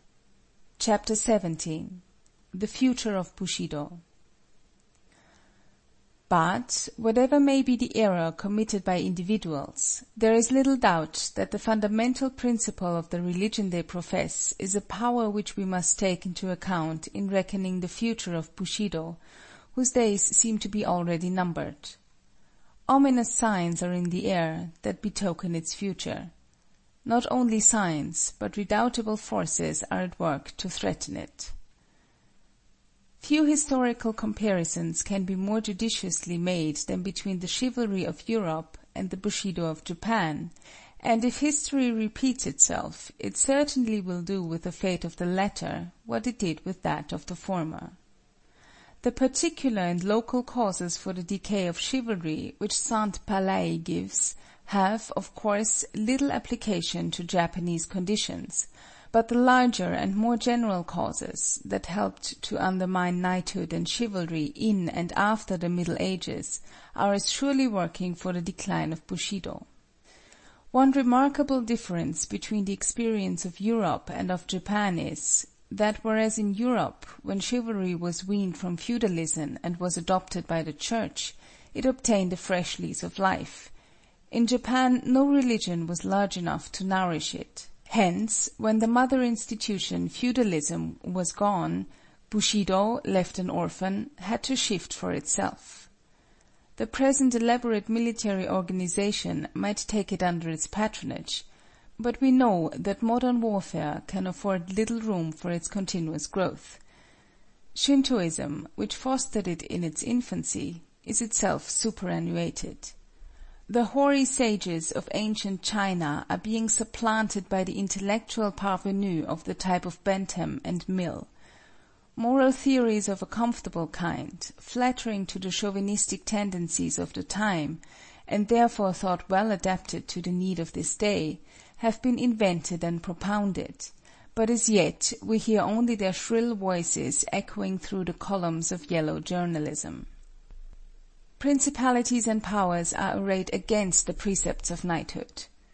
Already, as Veblen says, the decay of the ceremonial code, or, as it is otherwise called, the vulgarization of life, among the industrial classes proper, has become one of the chief enormities of latter day civilization in the eyes of all persons of delicate sensibilities. The irresistible tide of triumphant democracy, which can tolerate no form or shape of trust, and Bushido was a trust organized by those who monopolized reserve capital of intellect and culture, fixing the grades and value of moral qualities, is alone powerful enough to engulf the remnant of Bushido. The present societary forces are antagonistic to petty class spirit, and Chivalry is, as Freeman severely criticizes, a class spirit. Modern society, if it pretends to any unity, cannot admit purely personal obligations devised in the interests of an exclusive class. Add to this the progress of popular instruction, of industrial arts and habits, of wealth and city life, then we can easily see that neither the keenest cuts of samurai's swords, nor the sharpest shafts shot from Bushido's boldest bows can aught avail. The State built upon the rock of honor and fortified by the same, shall we call it the Ehrenstaat, or, after the manner of Carlyle, the Heroarchy, is fast falling into the hands of quibbling lawyers and gibbering politicians armed with logic-chopping engines of war.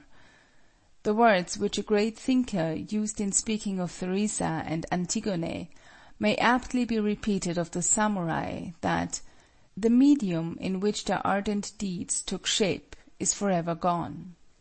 Alas for knightly virtues! Alas for samurai pride! Morality ushered into the world with the sound of bugles and drums, is destined to fade away as "the captains and the kings depart." If history can teach us anything, the State built on martial virtues, be it a city like Sparta or an empire like Rome, can never make on earth a continuing city. Universal and natural as is the fighting instinct in man, fruitful as it has proved to be of noble sentiments and manly virtues, it does not comprehend the whole man. Beneath the instinct to fight there lurks a diviner instinct to love. We have seen that Shintoism, Mencius and Wang Yang Ming have all clearly taught it, but Bushido and all other militant school of ethics, engrossed doubtless with questions of immediate practical need, too often forgot duly to emphasize this fact. Life has grown larger in these latter times. Callings nobler and broader than a warrior's claim our attention today. With an enlarged view of life, with the growth of democracy, with better knowledge of other peoples and nations, the Confucian idea of benevolence (dare I also add the Buddhist idea of pity) will expand into the Christian conception of love. Men have become more than subjects, having grown to the estate of citizens, nay, they are more than citizens, being men. Though war clouds hang heavy upon our horizon, we will believe that the wings of the angel of peace can disperse them. The history of the world confirms the prophecy that "the meek shall inherit the earth." A nation that sells its birthright of peace, and backslides from the front rank of industrialism into the file of filibusterism, makes a poor bargain indeed. When the conditions of society are so changed that they have become not only adverse but hostile to Bushido, it is time for it to prepare for an honorable burial. It is just as difficult to point out when chivalry dies as to determine the exact time of its inception. Dr. Miller says that chivalry was formally abolished in the year 1559, when Henry II of France was slain in a tournament. With us, the edict formally abolishing feudalism in 1870 was the signal to toll the knell of Bushido. The edict, issued two years later, prohibiting the wearing of swords, rang out the old "The unbought grace of life, the cheap defense of nations, the nurse of manly sentiment and heroic enterprise," it rang in the new age of sophisters, economists, and calculators. It has been said that Japan won her late war with China by means of Murata guns and Krupp cannon. It has been said the victory was the work of a modern school system, but these are less than half truths. Does ever a piano, be it of the choicest workmanship of Ehrbar or Steinway, burst forth into the rhapsodies of Liszt or the sonatas of Beethoven, without a master's hand? Or, if guns win battles, why did not Louis Napoleon beat the Prussians with his mitrailleuse? Or the Spaniards with their Mausers the Filipinos, whose arms were not better than the old fashioned Remingtons? Needless to repeat what has grown a trite saying, that it is the spirit that quickeneth, without which the best of implements profiteth but little. The most improved guns and cannon do not shoot of their own accord; the most modern educational system does not make a coward a hero. No! What won the battles on the Yalu, in Korea and Manchuria, was the ghosts of our fathers, guiding our hands and beating in our hearts. They are not dead, those ghosts, the spirits of our warlike ancestors. To those who have eyes to see, they are clearly visible. Scratch a Japanese of the most advanced ideas, and he will show a samurai.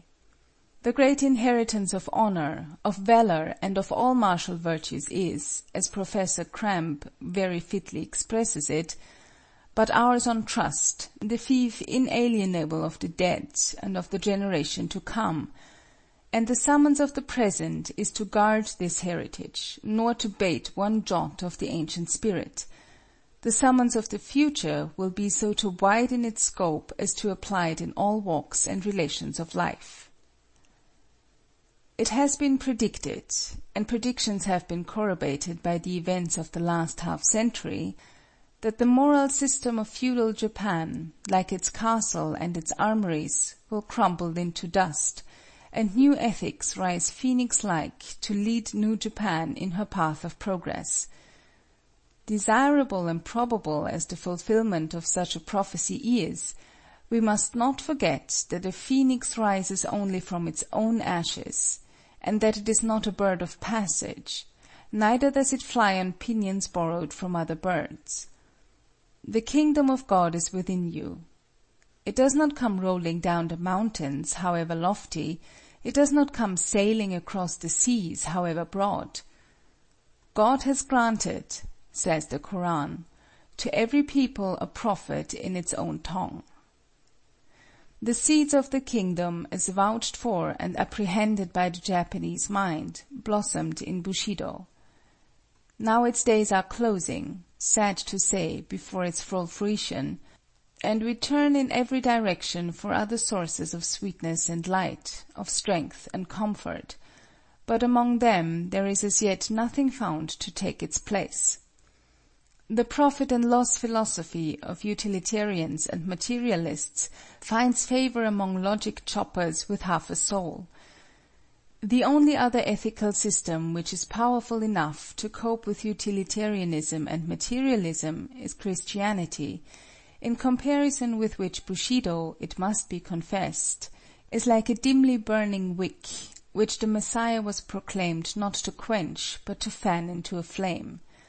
Like his Hebrew precursors, the prophets, notably Isaiah, Jeremiah, Amos, and Habakkuk, Bushido laid particular stress on the moral conduct of rulers and public men and of nations, Whereas the ethics of Christ, which deal almost solely with individuals and his personal followers, will find more and more practical application as individualism, in its capacity of a moral factor, grows in potency.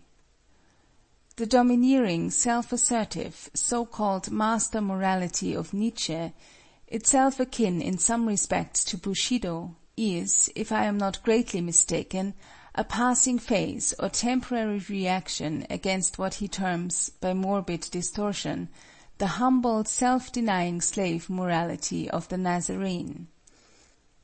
Christianity and materialism, including utilitarianism, or will the future reduce them to still more archaic forms of Hebraism and Hellenism, will divide the world between them.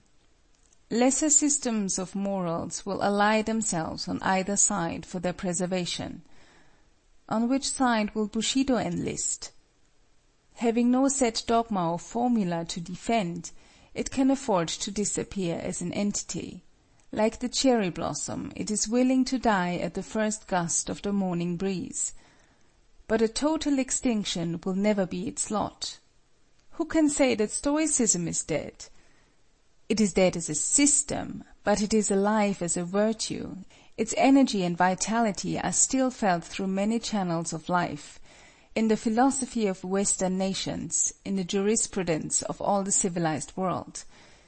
Nay, wherever man struggles to raise himself above himself, wherever his spirit masters his flesh by his own exertions, there we see the immortal discipline of Zeno at work. Bushido as an independent code of ethics may vanish, but its power will not perish from the earth. Its schools of martial prowess or civic honor may be demolished, but its light and its glory will long survive their ruins. Like its symbolic flower, after it is blown to the four winds, it will still bless mankind with the perfume with which it will enrich life. Ages after, when its customaries shall have been buried, and its very name forgotten, its odors will come floating in the air as from a far off, unseen hill, the wayside gaze beyond. Then in the beautiful language of the Quaker poet: The traveler owns the grateful sense Of sweetness near he knows not whence, And, pausing, takes with forehead bare The benediction of the air. End of Chapter 17 End of Bushido, the Soul of Japan Thanks for listening.